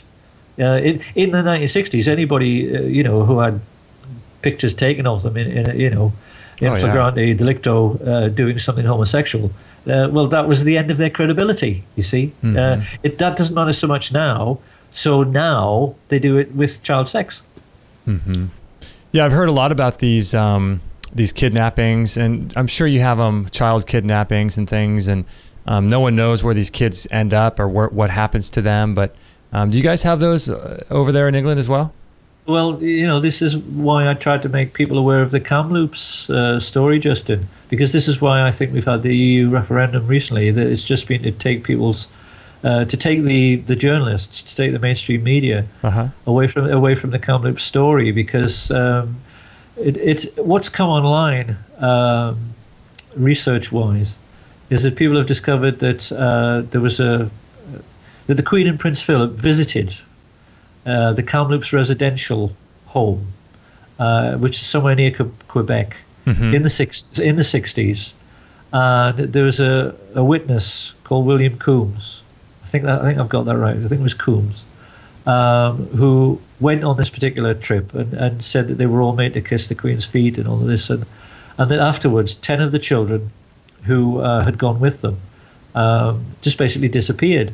And the thing is that somebody uh, and again, it will have been probably somebody from MI5, mm-hmm. uh, said that when I was on the Richie Allen show, that I blew it in the, uh, at, the at the end of the Richie Allen show by bringing up the the Kamloops uh, example, because he claims that the ITCCS uh, is just a, a one man blog. Well, if you look uh, online, what I've found is that it it has it has said that in the Brussels common law court that six judges in the Brussels common law court found the Queen and Pope John Rat- uh, Joseph Ratzinger guilty in absentia.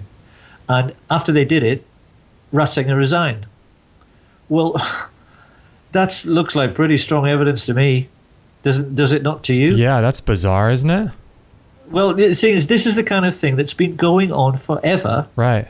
And we're only learning about it now because of things like the Elm Guest House scandal, which in itself came out because of the uh, the Jimmy Savile scandal. Uh-huh. I don't know if your if your uh, American listeners know about the Elm Guest House uh, scandal, but if they put into Google Carole Kasir, Elm Guest House, this woman uh, was a brothel madam, and uh, she herself was killed uh, by the security services once it was all coming out. how many high-ranking members of the, the British establishment were using it uh, essentially as a, a child uh, sex uh, den. And uh, it, it was because of his connections with this, because his name is on the notorious Elm Guesthouse list. This really? is why uh, the singer, the pop singer Cliff Richard, um, has been investigated. It's it's over this, and Cliff Richard uh, allegedly has uh, they've said that he has a uh, you know this he has some kind of connection with Tony Blair really? as well. So you see how the the circle just goes round and round and round and round and round. And um, you know th- there's a, a, an excellent um, uh, Australian uh, video online called Spies, Lords, and Predators. I think I've got that right. Spies, Lords, and Predators. But I would, I would invite any of your American listeners who are concerned about child abuse um, to watch that because it is most definitely an international problem. It is most definitely an international paedophile ring that has been created by the oligarchs since the beginning of the jet age. And it most definitely traffics children through Amsterdam to London and on from London uh, into Texas and into New York State, so that the richest people can basically just use children as sex toys. And it is the most heinous evil in the world today, and it is what I am fighting hardest to get rid of because they are destroying the lives of, of so many people. Uh, mm-hmm. Uh, it, it is it is hideous, and yes, it's every bit as bad here as it is in America. I'm would, sure of that. Yeah, I would imagine. I mean, there's no real differences. I, I, you know, I mean, there's just slight differences, but all these Western nations work the same. I was curious, are you familiar with um, a documentary called Hacking Democracy? No, I haven't heard that one. It's uh, put together by a lady named. Um, we're trying to get her on the show. We're um, almost, uh, you know, going to get her on. But this lady named Bev Harris, and she was doing some work in um, I think it was where was it? Somewhere in Washington, uh, not uh, Washington State, not Washington D.C. And um, I think this was around 2010. And uh, and so she was working uh, for the voting um, services or voting, whatever it was, up in Washington during the election and uh, she found out she was doing some research and she was able to find out because um, some weird strange things were going on and there's a whole documentary called hacking democracy. And she goes through the whole story but basically what she found out was there was a couple different companies i think two different companies that handle um, and tally and count all of the votes that come in. And so what happened was she was doing research online and the company that was in charge of counting all of the votes for that particular election accidentally put their source code on the server. And so she, without really knowing what she was doing, downloaded all of the source code that made up um, all of these black boxes. And so um, she sent all of that source code to a programmer. And it turns out that the, the source code actually has built into it um, manual manipulations of of voting and things like that. And so she goes on this whole countrywide search, trying to get to the bottom of what was going on. And it's this really fascinating documentary. And ever since I watched that, I was just completely. I mean, I knew voting was a sham long before that, but it was just kind of eh, nice to to see you know, something like that reaffirm my, my initial yes, beliefs. Solid evidence of how it's being done. Yeah. yeah. Yeah. No, it, it, uh, again, I'm glad you brought that up, Justin, because um, I've I've tried in the in the last few days to uh, contact Susan Sarandon, uh, or at least to contact uh, her company, Reframe Pictures, to try and get her interest. Uh, and um, I'm wondering if somebody like Susan would uh, like to sponsor a film that I would make. about this electoral fraud because it's every bit as bad here as it is in your country. Uh, are you aware of what's been going on with uh, the Tory party uh, and the election fraud here. Do you know about that? No, I do not. Well, basically, uh, in this country, we have uh, election rules uh, that say that you're only allowed basically to spend, I think it's about £50,000 per seat. Okay. Uh, per borough. Uh, and that that's the limit. And that if you go over that, you are breaking the Representation of the People Act, and you are therefore a criminal. It's a it's a criminal offence.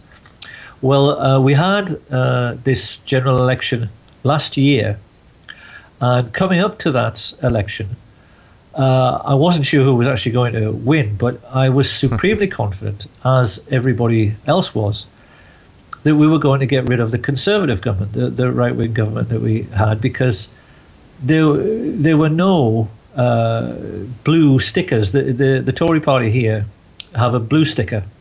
Uh, the uh, the socialist uh, people have a, a, red sticker. Okay. And the uh, the blue stickers that people put in their windows and on their cars, in the past uh, sort of couple of decades, they have always been a pretty reliable indicator, especially where I live, because it's it's very much across the spectrum. It's a, it's been a pretty reliable indicator of what the general election result was going to be. I was horrified when John Major was elected uh, because I could see that you know, unfortunately, people were saying I'm going to vote Tory. You could see all these blue stickers everywhere. Uh-huh. You could tell when Tony Blair got in that he was going to because there were Labour Labour stickers everywhere. Uh-huh. Last year, there you couldn't find, no matter where you looked, and believe me, I looked, and I asked other people in uh, other districts uh, near in Humberside, in Harrogate, up near Middlesbrough. You know, what what are you seeing? Do you see any support for the for the government, mm-hmm. for the Tories? And everybody was saying there's not a blue sticker anywhere. And yet, they won a majority and formed a government. And I said straight away, this has been fixed. They're now discovering, and when I say they, I've got to give credit here to the lady who I uh, talked about earlier, Dorothy Byrne, the, the head of Channel 4. Uh-huh. It's very interesting to me that since I put the question to her about do you believe in the seven foot tall jihadi warriors, that right. Channel 4 has rediscovered its teeth because they have done the most awesome journalistic work finding out that the Tories here have been overspending on their election uh, campaign. Uh, they, they've spent hundreds of thousands more than they should have done. Really? exactly. And, and that's one of the ways that they have gerrymandered mm-hmm. the voting here. And in your country, it seems to be doing they're doing it a lot more with software. Right. And, and, and also, if you go online, have you heard about uh, the videos that were taken? Uh, I don't know if your listeners will know about this. Uh, the videos that were taken at the Scottish referendum. Have you heard about this? No. Wow. Well, you should please look at these because there was a Scottish referendum uh, not that long ago where people had to vote for Scottish independence, and there was the opportunity for Scottish people to say, "Okay, that's it. We've had enough we're going to break away from England and we're going to rule ourselves. And uh-huh. it would uh-huh. have meant, you know, that Westminster no longer ruled Scotland. Uh-huh. And so they, they had a vote. And there were people in Scotland from the very beginning who said, you know, we don't like the feel of this. There's something wrong with this campaign.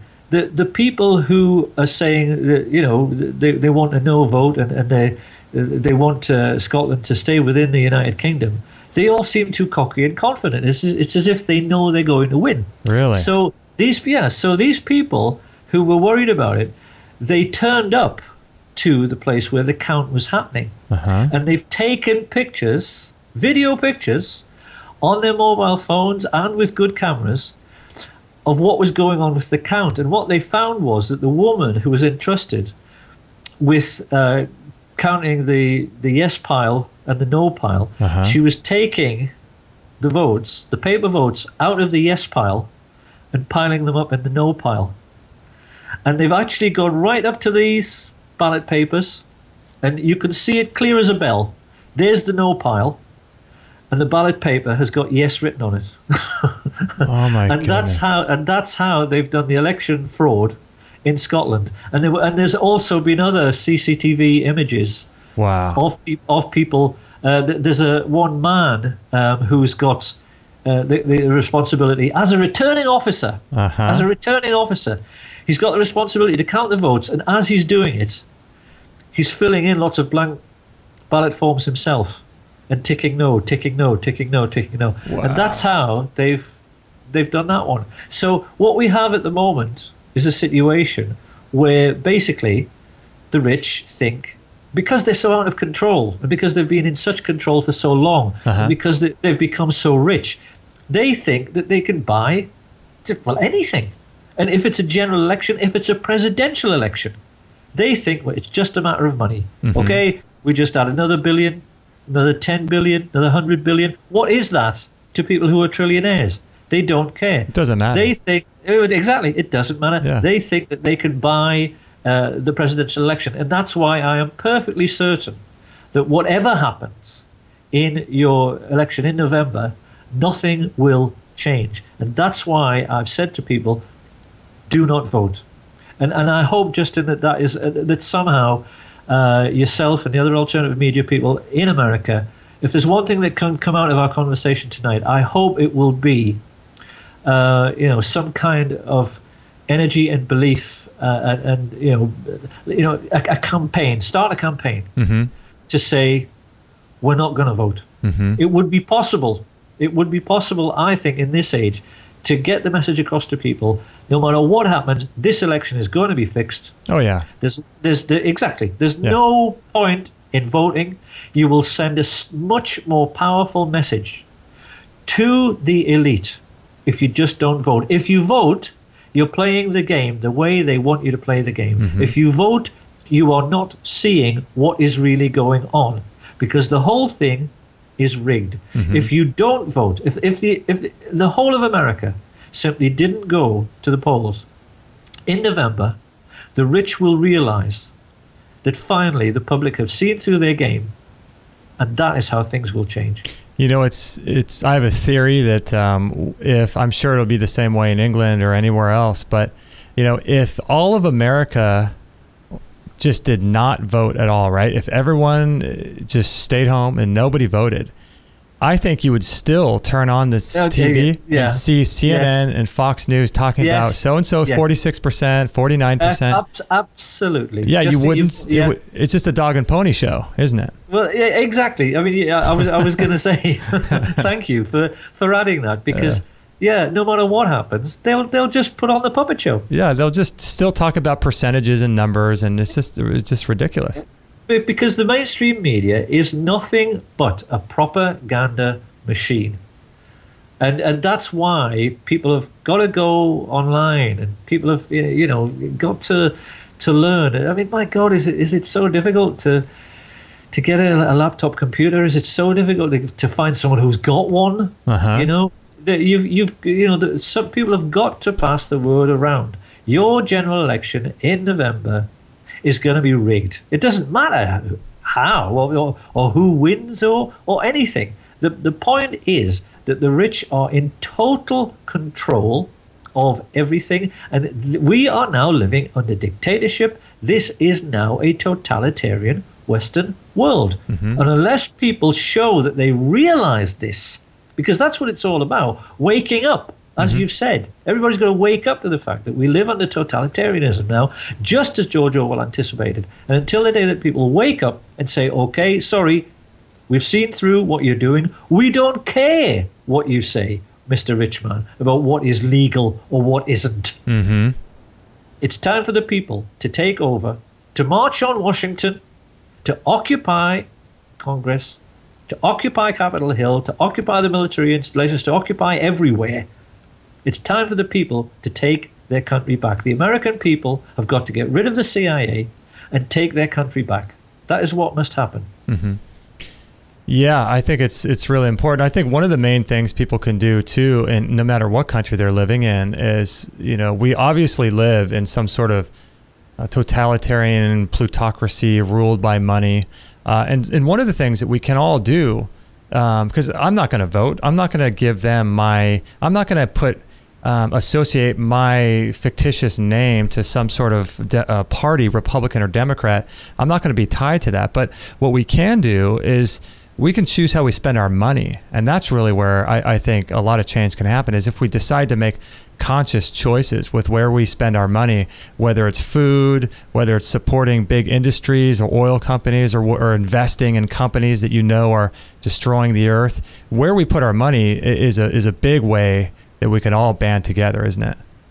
Absolutely. I think. Uh, you know, that, that that is, as you say, one of the, the most important things of all. I think uh-huh. perhaps Americans do, don't realize, um, that, you know, how many things that are a natural part of American life that they that they could live without, like coffee. yeah, exactly, right. You know, if if if the whole of America was to give up coffee, of course, I, I realize now Starbucks will will probably want to, you know, sue my ass or however it is that you you, you say it. Right. But uh, but you know th- that kind of thing. If the whole of America was to give up coffee, give up sugar, uh, give up additives, uh-huh. give up un- unhealthy food, that would really shock the oligarchs. And if the whole of America didn't vote, um, you know, Bobby Kennedy, I think it was, said that small acts, when multiplied by millions and millions of decent men, create a wave that no regime can withstand.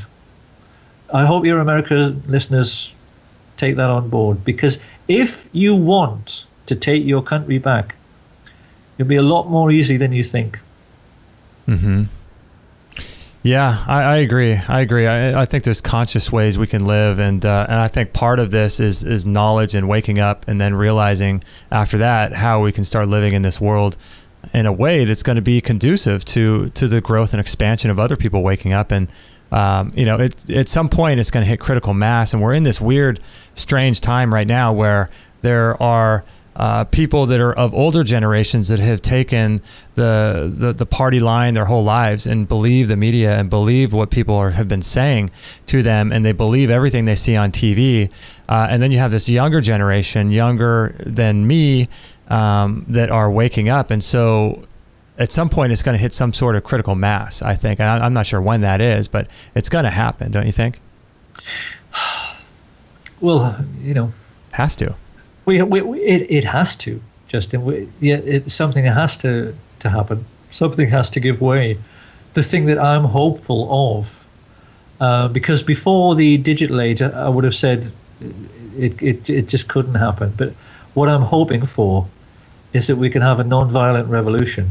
Uh, I'm surprised no one's asked me so far that you know can can this be achieved without violence? Mm-hmm. Because mm-hmm. there's a lot of people, excuse me, who've put comments on uh, you know below the film, um, who've said you know we've got to fight, and of course people have come back and said, well you know if we fight, you know. They'll just bomb us from the air. They, they won't fight on the ground, and you know. So you've got people concerned about that, and you know, I don't want anybody to die for for America's freedom. Mm-hmm. Uh, but I do think that if you see, this is why I'm trying to educate your population through my movie and through my work as to just what is really going on. Because you know, Americans, Justin, you people, you are streetwise. You know, you can spot a con man. Mm-hmm quicker than most Europeans can. You've got that sense. Why then can't you do it with the politicians? The, you know, the, the, all the politicians are conmen. Mm-hmm. They're conmen in this country too. And if enough people can share that understanding at the same time, things will change. But practical things need to be done. And again, one of the things I hope can come out of, of this conversation we're having uh, because I, I, was intending to say this to Richie Allen, and we, we, we ran out of time. I don't know how much longer you and I have got, but um, I ran out of time before I could say to, to Richie mm-hmm. that what I would like to see, uh, you know, radio producers like yourself doing, uh, and all of the you know the alternative media doing, is uh, gathering together uh, a list right now start gathering together a, a, list of people who are prepared to serve in a government of the people. People who think that they've got enough maturity, enough experience, and people who believe that they are free enough of ego and also free of any kind of uh, financial interests or constraints uh, with the establishment. Um, and, and we need a list like that of people who would volunteer to form a government of the people in order to get rid of the oligarch society that we've got now. Now, I'm not a naive man, Justin. You know that. Your listeners know that. Mm-hmm. Of course, if you start to do that, you're going to have that list infiltrated by people who, you know, will be trying to uh, play both sides of the fence, if you know what I mean. People right. who will be saying, you know, I'm a decent man, and and, and really they're a spy for uh-huh. the elite. But I do think that you know, once the revolution was passed, that it would be possible to identify those people. I do think that would be possible once we had all the information uh, necessary. So I, I hope, uh, you know, I'm going to ask Richie Allen the same thing. Mm-hmm. Perfectly happy to go on that list myself. The thing is that that the problem, the big problem that you and I have, Justin, and all other decent men in the West, is that truly this is an Anglo American problem. What happens in your country and what, what your country does affects the life of everyone in Britain and everyone on earth. Mm-hmm. America has become the world's bully, essentially, with what you do in Iran, Iraq, Kuwait, everywhere. America is bullying the world. American forces are bullying the world. And, you know, the British are, are just as bad. What happens in Britain does materially affect every American citizen in, in your country every day. There are decisions taken in London every day mm-hmm. that affect America. So it, this really is an Anglo American problem. The problem is that we have to get rid of the establishment on both sides of the Atlantic. And it's going to be a tough job and it's going to be a long job. So we better get on with it. Mm-hmm. So by all means, put my name on that list with yours, yep. with your wife's, with whoever else, Alex Jones, whoever, Jesse Ventura. But we've got to get together a list of people who are prepared to serve in a genuine people's government, and then they'll start to see that they've got to take us seriously. Yeah, it's my it's my contention that this whole this whole way that at least America does our elections, this this outdated, archaic, bizarre situation with uh, the way we do our votes and, and the technology used and, and, all of this stuff, this whole dog and pony show, it seems to me that, I mean, when, when you watch the debates and you realize that private corporations own the ability to to um, approve candidates for being part of the debates, and you have to have millions of dollars just to get to that level. Um, and this whole show that they put on, I, I just people have to be waking up. I mean, it's. I just cannot understand how people still think that someone like, you know, Hillary Clinton or Bernie Sanders or Tony Blair back in the day or Donald Trump or any of these people are going to save them. I mean, it, it, I just have to think people's consciousness is waking. Yeah, know? well, you know, if only we could tell. Wouldn't that be nice? yeah, if only we knew exactly how many people uh, yeah. are, are, are, waking up. Um, you know, but you know, let's let's have some hope because many many you can see just from the hits on my movie that many many millions of people are, and I'm I'm certain that if my movie could get into theaters, and this is why the you know elite are trying so hard to keep it out of theaters uh-huh. around the world.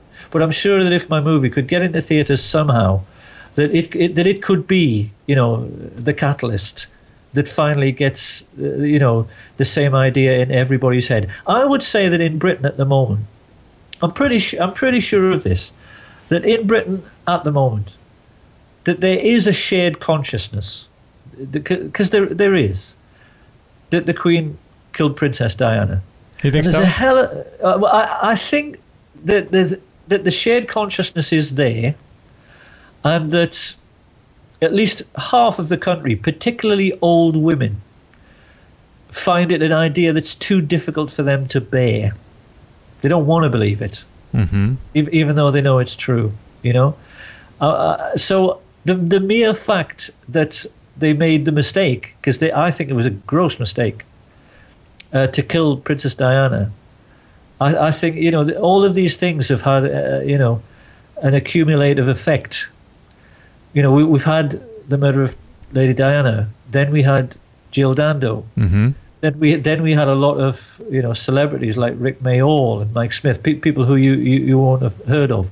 But all of these things, while we've also had uh, the election expenses, uh, uh, sorry, the, the personal expenses scandal uh, in, in, Westminster. We had a, a very long, drawn out uh, series where, uh, you know, politicians, it, it, was being uncovered that they were, you know, taking out second mortgages and, and, and, you know, making huge amounts of money just from being uh, politicians uh, spending ludicrous sums on decorating their homes and wow. buying second homes and all, really, you know, unsavory stuff. Yeah. These things have, have an accumulative effect. And I do think that, like I say, that if only we could find a way to get our message onto the mainstream media, and that's why the mainstream are falling over themselves to ignore us. If mm-hmm. we could get our message onto the mainstream media, we definitely could win this battle. Mm-hmm. Yeah, that's that's the name of the game is getting into the mainstream media. Um, I just wonder how possible that is, but I, that's so awesome that you've been trying to do that. Well, you know, I can only keep trying, and yeah. uh, you know, it, uh, I, I, just hope that sometime soon something is is, is, going to break. Uh, you know, again, I've I've just uh, been in touch with uh, one of the people who works for Susan Sarandon today. Um, I don't know how his name is. His name is a, a strange name. I think he's called Adam Hajiag. Uh, it's a, a, strange name. Oh wow! Uh, but he wasn't. He was rather brusque. Um, he, he was trying to tell me, you know, you you know, you're not going to get an answer straight away. But it's it's very hard to you know convince these people how important this is. Uh, and you know, well, if if you can do anything yourself, Justin, I would really appreciate it because I, you know, I don't want to under over overestimate either my own importance or or the importance of my film, but from the reaction to it, particularly the fact that so many people have said this is a movie which everyone in the world has got to see. So many people have said that. I just get the feeling that my, my documentary is something that could unite, uh, let's say, all the decent men in, in the world. Because I'm not advocating a particular political system. You know, I'm not saying everybody's going to be communist, socialist, Fauvist, Tovist, right. Leninist. I'm not doing that. I'm just saying to people, look, we're all being had here. Uh-huh. Our, our, our lives are a lie. The, the entire Western system is a hoax that keeps the rich in their positions of power so that they can just go on and on and on and on forever, abusing children mm-hmm. and being untouchable while they're doing it. And surely any decent man would unite behind the idea of changing that and getting rid of child abuse and getting rid of a, a system that's a complete hoax. Yeah. Surely, surely anybody can unite behind that. So, you know, this is. Uh, I hope you can put you feel that this is worth putting on YouTube, and I hope that by this means that I can reach Susan Sarandon, and then I can reach Kevin Costner, and then I can reach, you know, all of them, George mm-hmm. Lucas, all the people who are, and Sting and Peter Gabriel. I've, I've been in touch with them recently. They're touring your country at the moment, uh, wow. you know, doing uh, shows across your country at this moment. They haven't written back to me either. Uh, you know, I hope that I can reach these people and make them realize how important this is because I really do think that my movie could be the straw that breaks the camel's back uh, and, you know, finally hands power back to the people. Mm-hmm. Yeah, no, that's awesome. I'm so I'm so happy you're doing that. Um, so, do you put post um, on your website um, updates to stuff like this, or are you just right now working on part two most of the time? No, the, like I say, the, my, my, effort at the moment is is all going into trying to get uh, part one offline and into theaters, and in the process of, I hope, raising the the finance uh, for the, for that.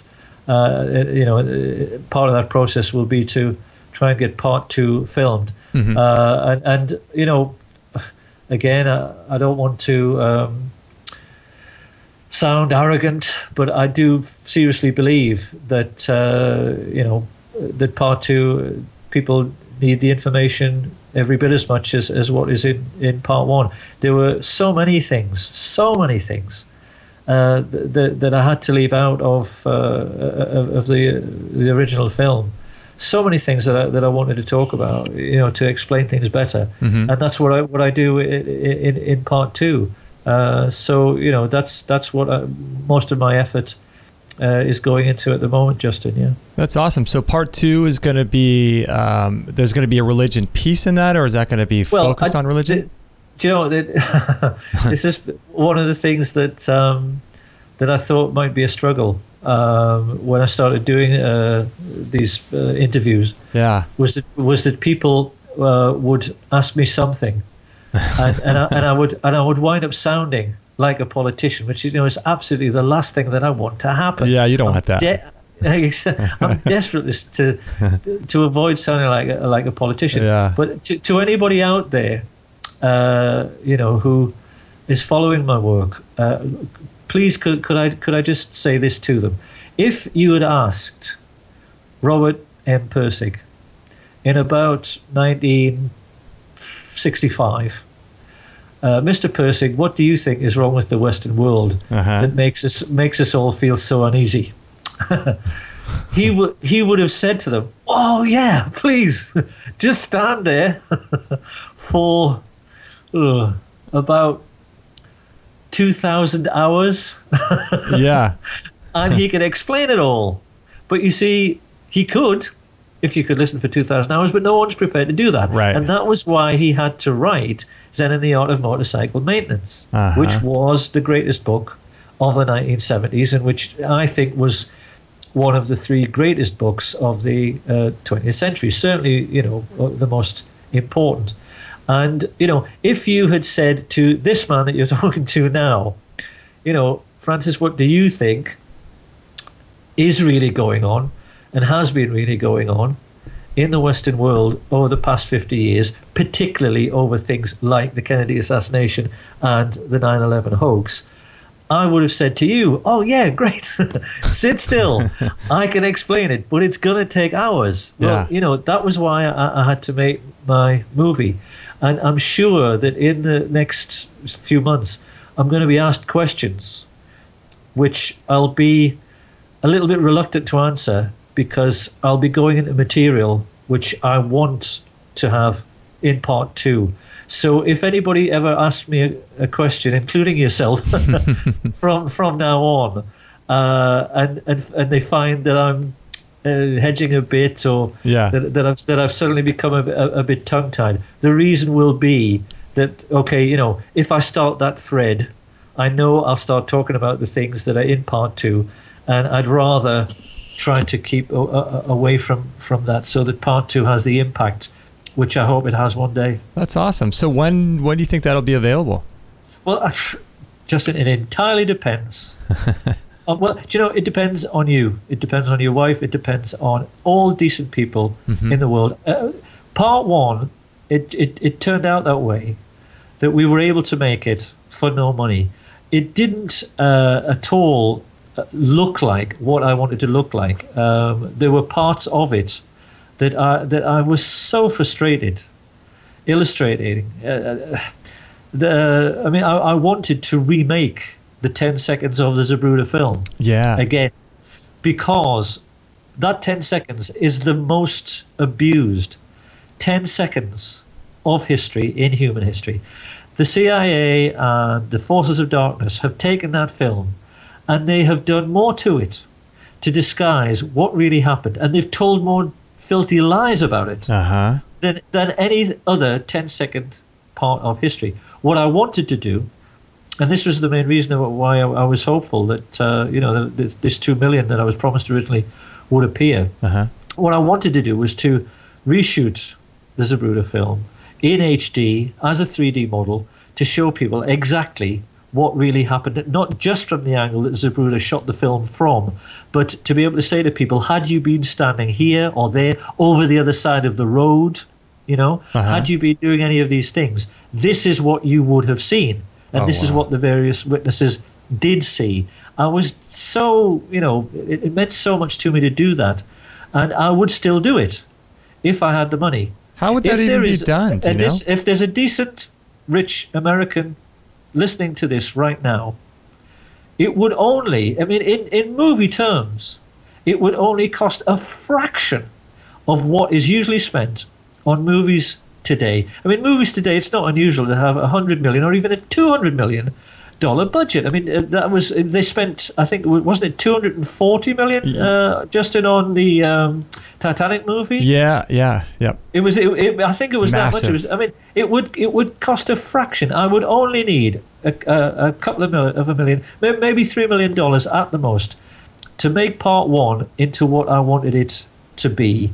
Uh, You know, if there's somebody listening out there who could help. So you were talking about actually making the Zapruder film 3D in a sense that people would be able to see perspective and different angles Yes. through Yeah, that. yes, the, yes, because that that would that would be the most important thing you see. Because That would be amazing. Well, I, I, I, you know, I would love, I I would simply, you know, it, this was my, my dream because I wanted to be able to say to people, if you'd been on the stockade fence, Mm-hmm. this is what you would have seen as as it all went down. Had you been uh, standing where the little girl was standing, Mhm. the one who turned her head Yeah. towards the Daltex uh, building, Uh-huh. you would have seen the shot come out of the Daltex building, and you would have realized that this was why that little girl, uh, somebody with acute young senses, young ears, young eyes, she heard the shot better than anybody, and her gaze, looking backwards, was on a flat level. And she was looking at the Daltex building, lower floor. And mm-hmm. that was why. She did not look up. She did not look up at the schoolbook depository. Mm. She looked at a flat level backwards. And if you'd been stood beside her, and you could make that in a computer model, you see, you would be able to look backwards at the smoke that some people did report from the Daltex building. Right. And that was the that was the Nicoletti shot. Uh-huh. That was Charles Nicoletti. So I was just just curious. Do we have any access to any of these people? I mean, I guess it would have to be the little kids that were there. But do we have any ability to to um, interview people that were you know supposedly there these days? Uh, do you know it's it's it's interesting you bring that up about um, the young people. I don't know who that little girl. yeah. Who are these people? Uh, exactly. Uh, the thing is that um, people who were there who were adults Mm-hmm. at the time, uh, like Arnold Rowland, Mm-hmm. proved instantly, instantly that that you know that the whole thing was uh, was a conspiracy. I mean, in my film, people can see Yeah. Arnold Rowland, Arnold Arnold Rowland pointing to the wrong window, Uh huh. And he told Roger Craig. Uh, I, I only just learned this recently. Um, I I would have said that if Rowland had seen a colored man, he would have said so because this was, you know, Dallas, Texas in 1963. But he didn't say it was a colored man. And that was why I concluded that it had to be Frank Sturgis that he saw. Well, just recently there was a, a piece of film uh, appeared because there are many interviews with uh, the policeman Roger Craig, which I find keep uh, coming onto uh, on the YouTube and then disappearing and coming back again and disappearing. Really? And I only yes, and I and, and I know why. It's because Roger Craig's testimony was so important. Because there is a YouTube video on there right now that I've only just found recently, which again confirms that I am correct. Because uh, Arnold Rowland told Roger Craig that it was a white man who he saw in the opposite window, the the window at the far end. The, he was the one who had the rifle with the big scope. So there's another confirmation that what I've said is true. And if what I have said, Justin, is not true, why does the American government go on and on and on pretending that I don't exist, Yep. that my film doesn't exist, that you don't exist, and that the entire truth movement doesn't exist? They go on and on and on and on. We, in Britain here, there has never been a news broadcast, not one, where they have even mentioned the existence of, of architects and engineers for 9 11 truth. Why are they doing that if they've got nothing to hide? Yeah, they they obviously do have something to hide. Um, do we know what became of Abraham Zapruder? He obviously Abraham, died, right? He, yeah, yeah. I mean, he he. he uh, an amazing fact that um, Zapruder knew Jackie Kennedy and Lee Harvey Oswald.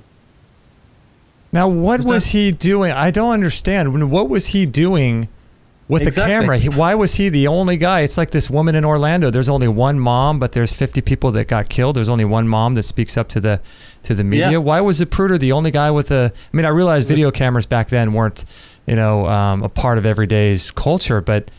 Yeah. What's that well, there, about? There, there, there, all, Orville Nix was at the other side of the road. Okay. And there was the Charles Bronson uh, film as, uh, as well.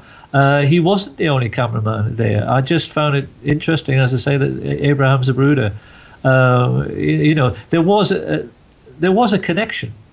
Uh, you know, uh, it's fair enough to say that Lee Harvey Oswald was a handshake away from Jackie Kennedy. Now that's pretty incredible. Isn't that bizarre? Isn't that crazy? It, uh, you know, if, uh, unless you realize that the whole thing's a, a conspiracy. Right, right. I, I said is, is the case. But Abraham Zapruder. No, I mean he he was a dress manufacturer and uh, he, he he passed away. Uh, and and I think to be honest that uh, as, as, far as one can gather, he, that he was a decent uh, man. Isn't that fascinating? Yeah, he died in 1970. It's saying here. Yeah. Wow, that's so. I mean, it's just the same thing with all those uh, those video shots of 9/11 and dubbed in sound effects, and I mean, the you know stories go on and on with these mass with these mass events, you know. Yeah. Yeah. Well, I want to thank you, Francis, for for uh, your time today. I know what time is it there? It's it's got to be getting late. Uh, it's uh, almost nine thirty here, but I don't mind.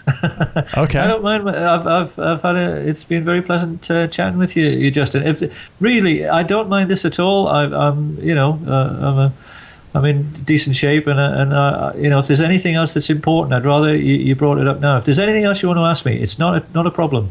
Uh, you know.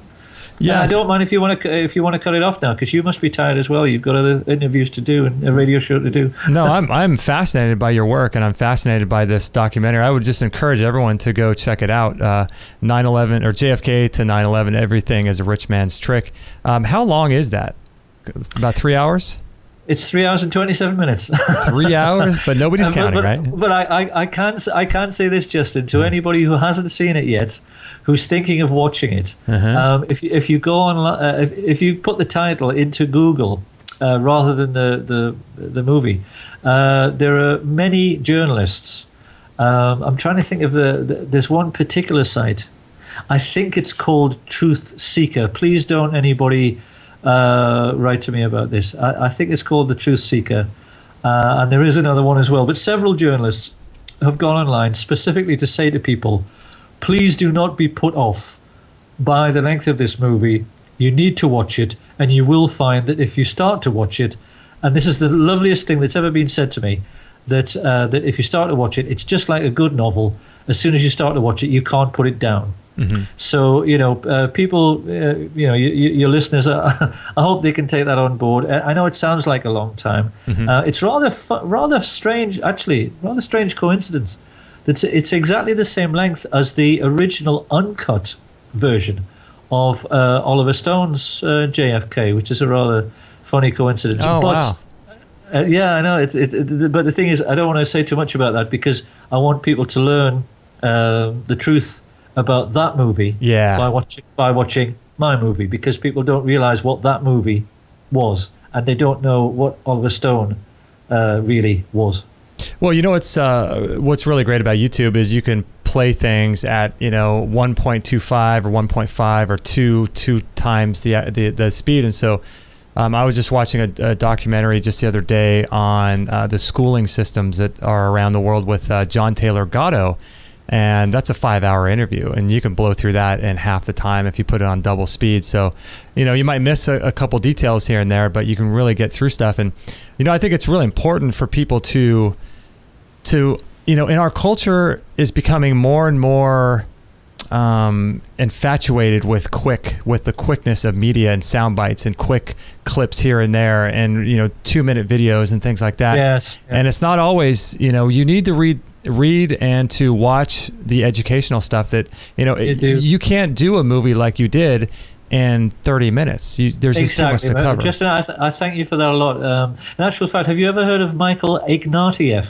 uh, no who's it You ever heard that? No. Uh-uh. Uh, he was an, he was an American author. He was um, he was popular over here.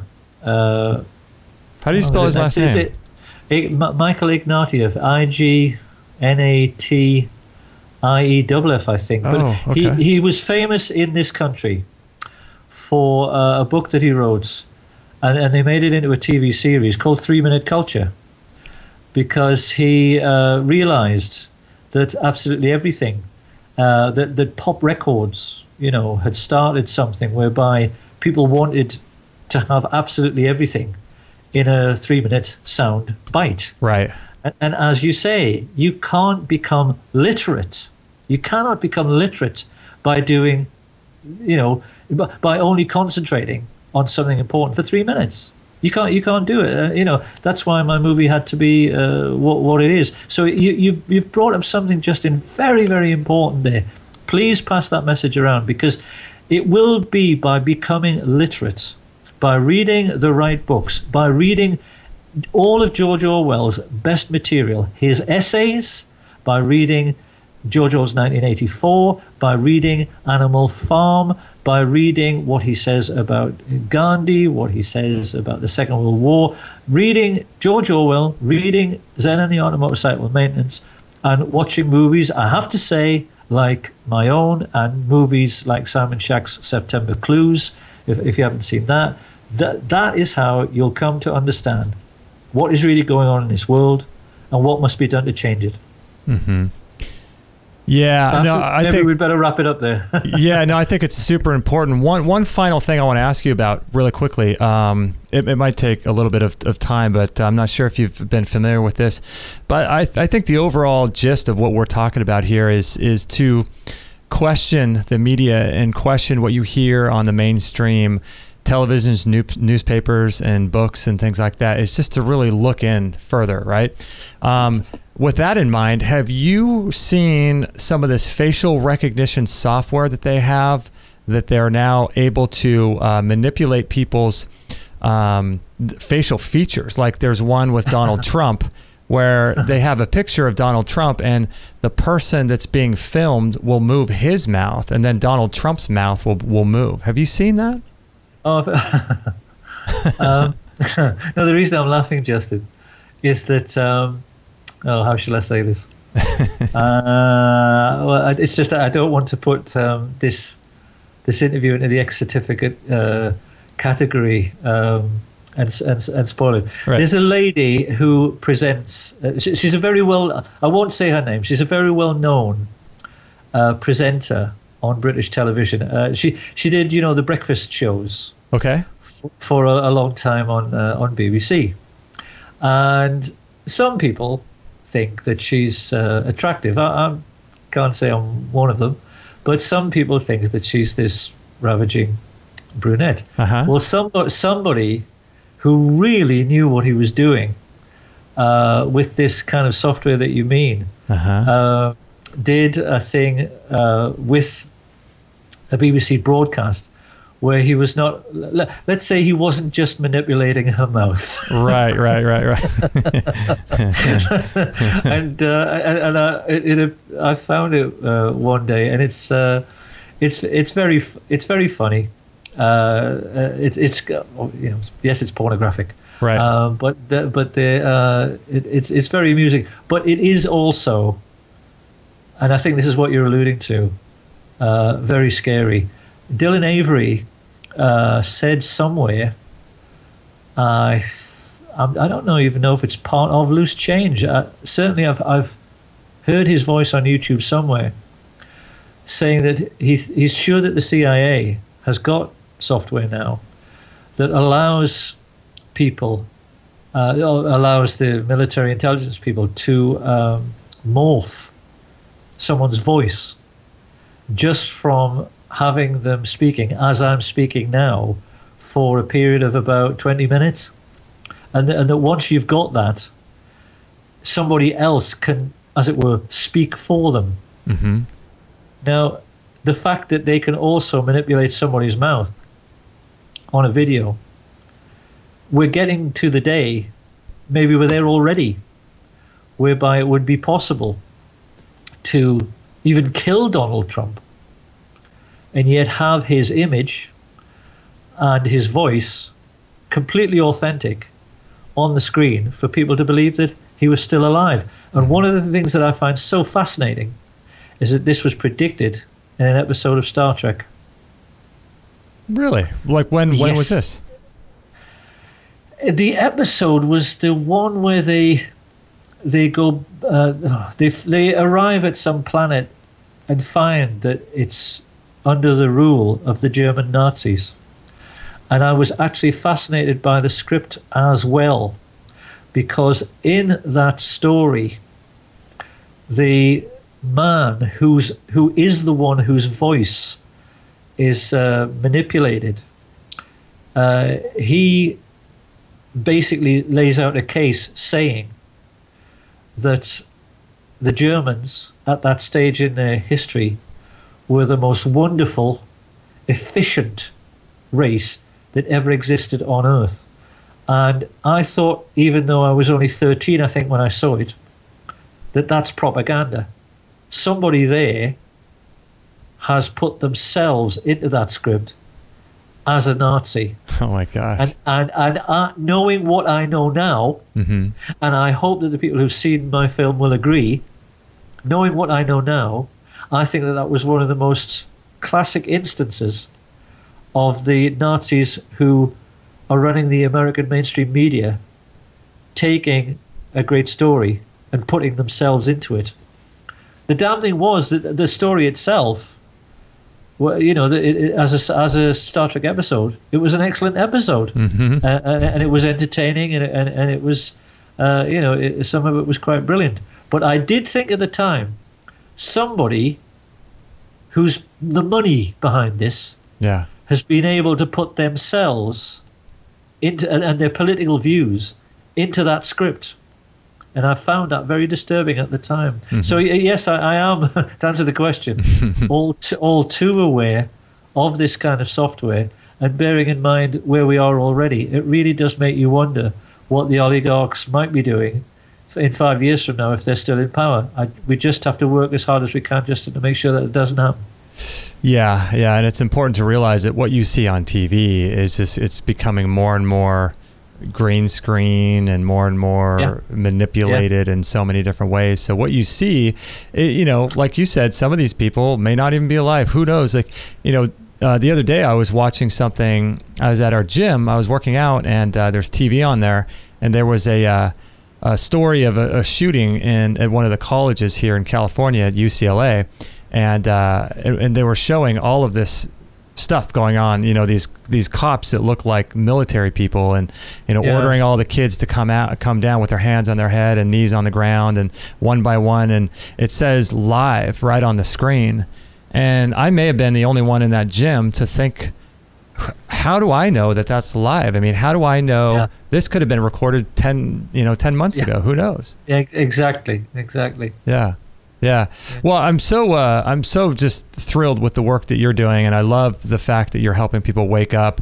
And um, so, people, what would be the best way for people to to follow and to know when this new documentary that you're working on now is going to be uh, published? Oh, no, they don't need to fear about that, Justin. Believe me, I'll, I, I, I, will. Uh, they'll certainly, if if I ever get part two made, um, people will will find out that. As as I've said tonight, I just hope that uh, your listeners can can help uh, somehow. You know, please, please, America. You know, ask Jeff Skoll why he won't help me. Ask George Lucas why he won't help me. These people have got millions to burn. Don't they want to help their country to wake up? Mm-hmm. It's uh, it's very sinister. You know, if, if- for the sake of a couple of million dollars, uh, and and obviously then the help uh, that I need uh, to you know, to get the uh, the film into independent cinemas all around the world. But I, I don't think you know in this age that that would be particularly difficult. I mean, you don't even need to send hard copies anymore. Yeah. To uh, to, to to I mean, you just send a file. Right. know, it, it, it's just a click of a button. It's it would be easy. easy to distribute this movie if I had very little financial help. Uh, so I, I- you know, I don't want to make it sound too much like an appeal, but uh, uh, but you know, I, I don't want to start asking people um, who don't have money for help. I think that people like yourself have been uh, struck by my movie. I, I like to think, I, I prefer to think, that the reason that my film has had such an overwhelming impact and such a huge success globally is that I think people can see that this is maybe the first time ever since since since film and, and television and, and media began that somebody has made a truly major work of really you know major significance where there hasn't been any any purse strings attached to the project whatsoever because money always vitiates the message. It always makes the message decay. Mm-hmm. If there's a, a conflict between money and the message, it's always the message that, that misses out. And I like to think that you know that, that people can can see that that that this is a, a, a pure film that, that I've made. That it's it didn't have any money interests attached to any rich man whatsoever. No rich man has made a penny out of my film. I haven't made a penny out of my film. I can't do so because of the copyright issue. Ah, right. Uh, it's it's one of the things that's got to be overcome. Uh, you know, anybody who invests in it. So you know, I just hope that, as I say, that somebody, you know, like Susan Sarandon or Kevin Costner or somebody, uh, you know, in your country will hear this uh, and come and help me. That would be great if they could. I'm sure it would help change the world into the world that we all want to see a world that is genuinely a freedom loving world and not the totalitarian farce that we see at the moment that's being proven every day online with all these people who've got proof of the electoral fraud, which you- you've alluded to this moment. There are hundreds of videos about oh, Right. the American election f- fraud and how it's being done mm-hmm. on, on YouTube. How on earth can they ca- continue in such a barefaced way? I know. It's so obvious, isn't it? I know. I, I I'm just completely baffled. How is it that with all of this information that's out there, but I think part of what they they do is is they is they try to have conflicting information so that there's always you know new studies coming out like for example something that will say uh, alcohol is good for you and then there's a new study Yeah. that say alcohol is bad for you so they keep Exactly. everybody confused and if they can keep everybody confused i guess they can allow all of this information to come out there because everyone's just going to be confused and not know what to do you know Well, exactly. It, it's too. It's it's overwhelming, Justin, for most people. Yeah. Most people are not as intelligent and as literate as as you are, and I realize that. That's why I've tried to make my movie as simple as simple as as I could possibly make it. There was one gentleman who went online, and I um I don't I can't remember his name. Uh, I hope you'll forgive me, but I was terribly grateful for his comment because he said that the the best thing about this movie is that any sixth former cou- uh, uh, sorry, any sixth, anybody in sixth grade can understand it. And he said it takes a very special talent to teach the majority. And, and you know, I, it is a talent that, that I think I have. Uh, uh, It's, it's something that I believe that, that I can do, that I can simplify all of the confusion and, uh, that, that you've, you've talked about and make things simple and show people the simple route. Because, you know, all we've got to do is take over. It's, a- it's as simple as that. People have got to march on Washington and say to the oligarchs, look, that's it. It's the end. that's it We are taking over. We, it, it's got to be, um, Americans have got to take their country back. And I've got to say this, Justin. You know, you people are armed. We aren't. It's a damn sight easier for you. People have have defended the Second Amendment so many times. I mean, uh, on, online, Jim Jeffries. Uh, I don't know if you've ever watched this. Uh, one of the best things he's done is uh, an extract from his show called Gun Control. Uh, it's very, very funny, and he he is a brilliant man. If Jim Jeffries ever ever gets to hear this, I, I hope I, I hope uh, you know he, he'll allow me to say right here, right now, I'm his biggest fan. He he's just wonderful, and you know he's he says uh, uh, on this uh, extract that he's he's talked about this thing on stage before, and you know he he goes outside and at the end of the show, and Americans keep coming up in his face and saying, you know, you can't change the Second Amendment, you can't take my gun away. The, the gun is there in case the government ever gets out of control. Well, your government is out of control. It's already, so why don't, yeah. Why don't you finally use the guns that you've got for some for some good purpose? You know. I hear you. So, I totally so, agree. Well. yeah, I, I, totally agree. Um, well, thanks for your time, uh, Francis. And uh, we'll, you're more than welcome, my friend. Yeah, we more will be definitely in touch. And uh, when that new movie comes out, let's let's do another show together. I'd love to do that. It's been my privilege talking to you, Justin. Awesome. All right, everyone. Thank you for listening to this episode, episode number seven of the Justin Stellman podcast. We, we really appreciate it. And we'll catch you guys on the next episode.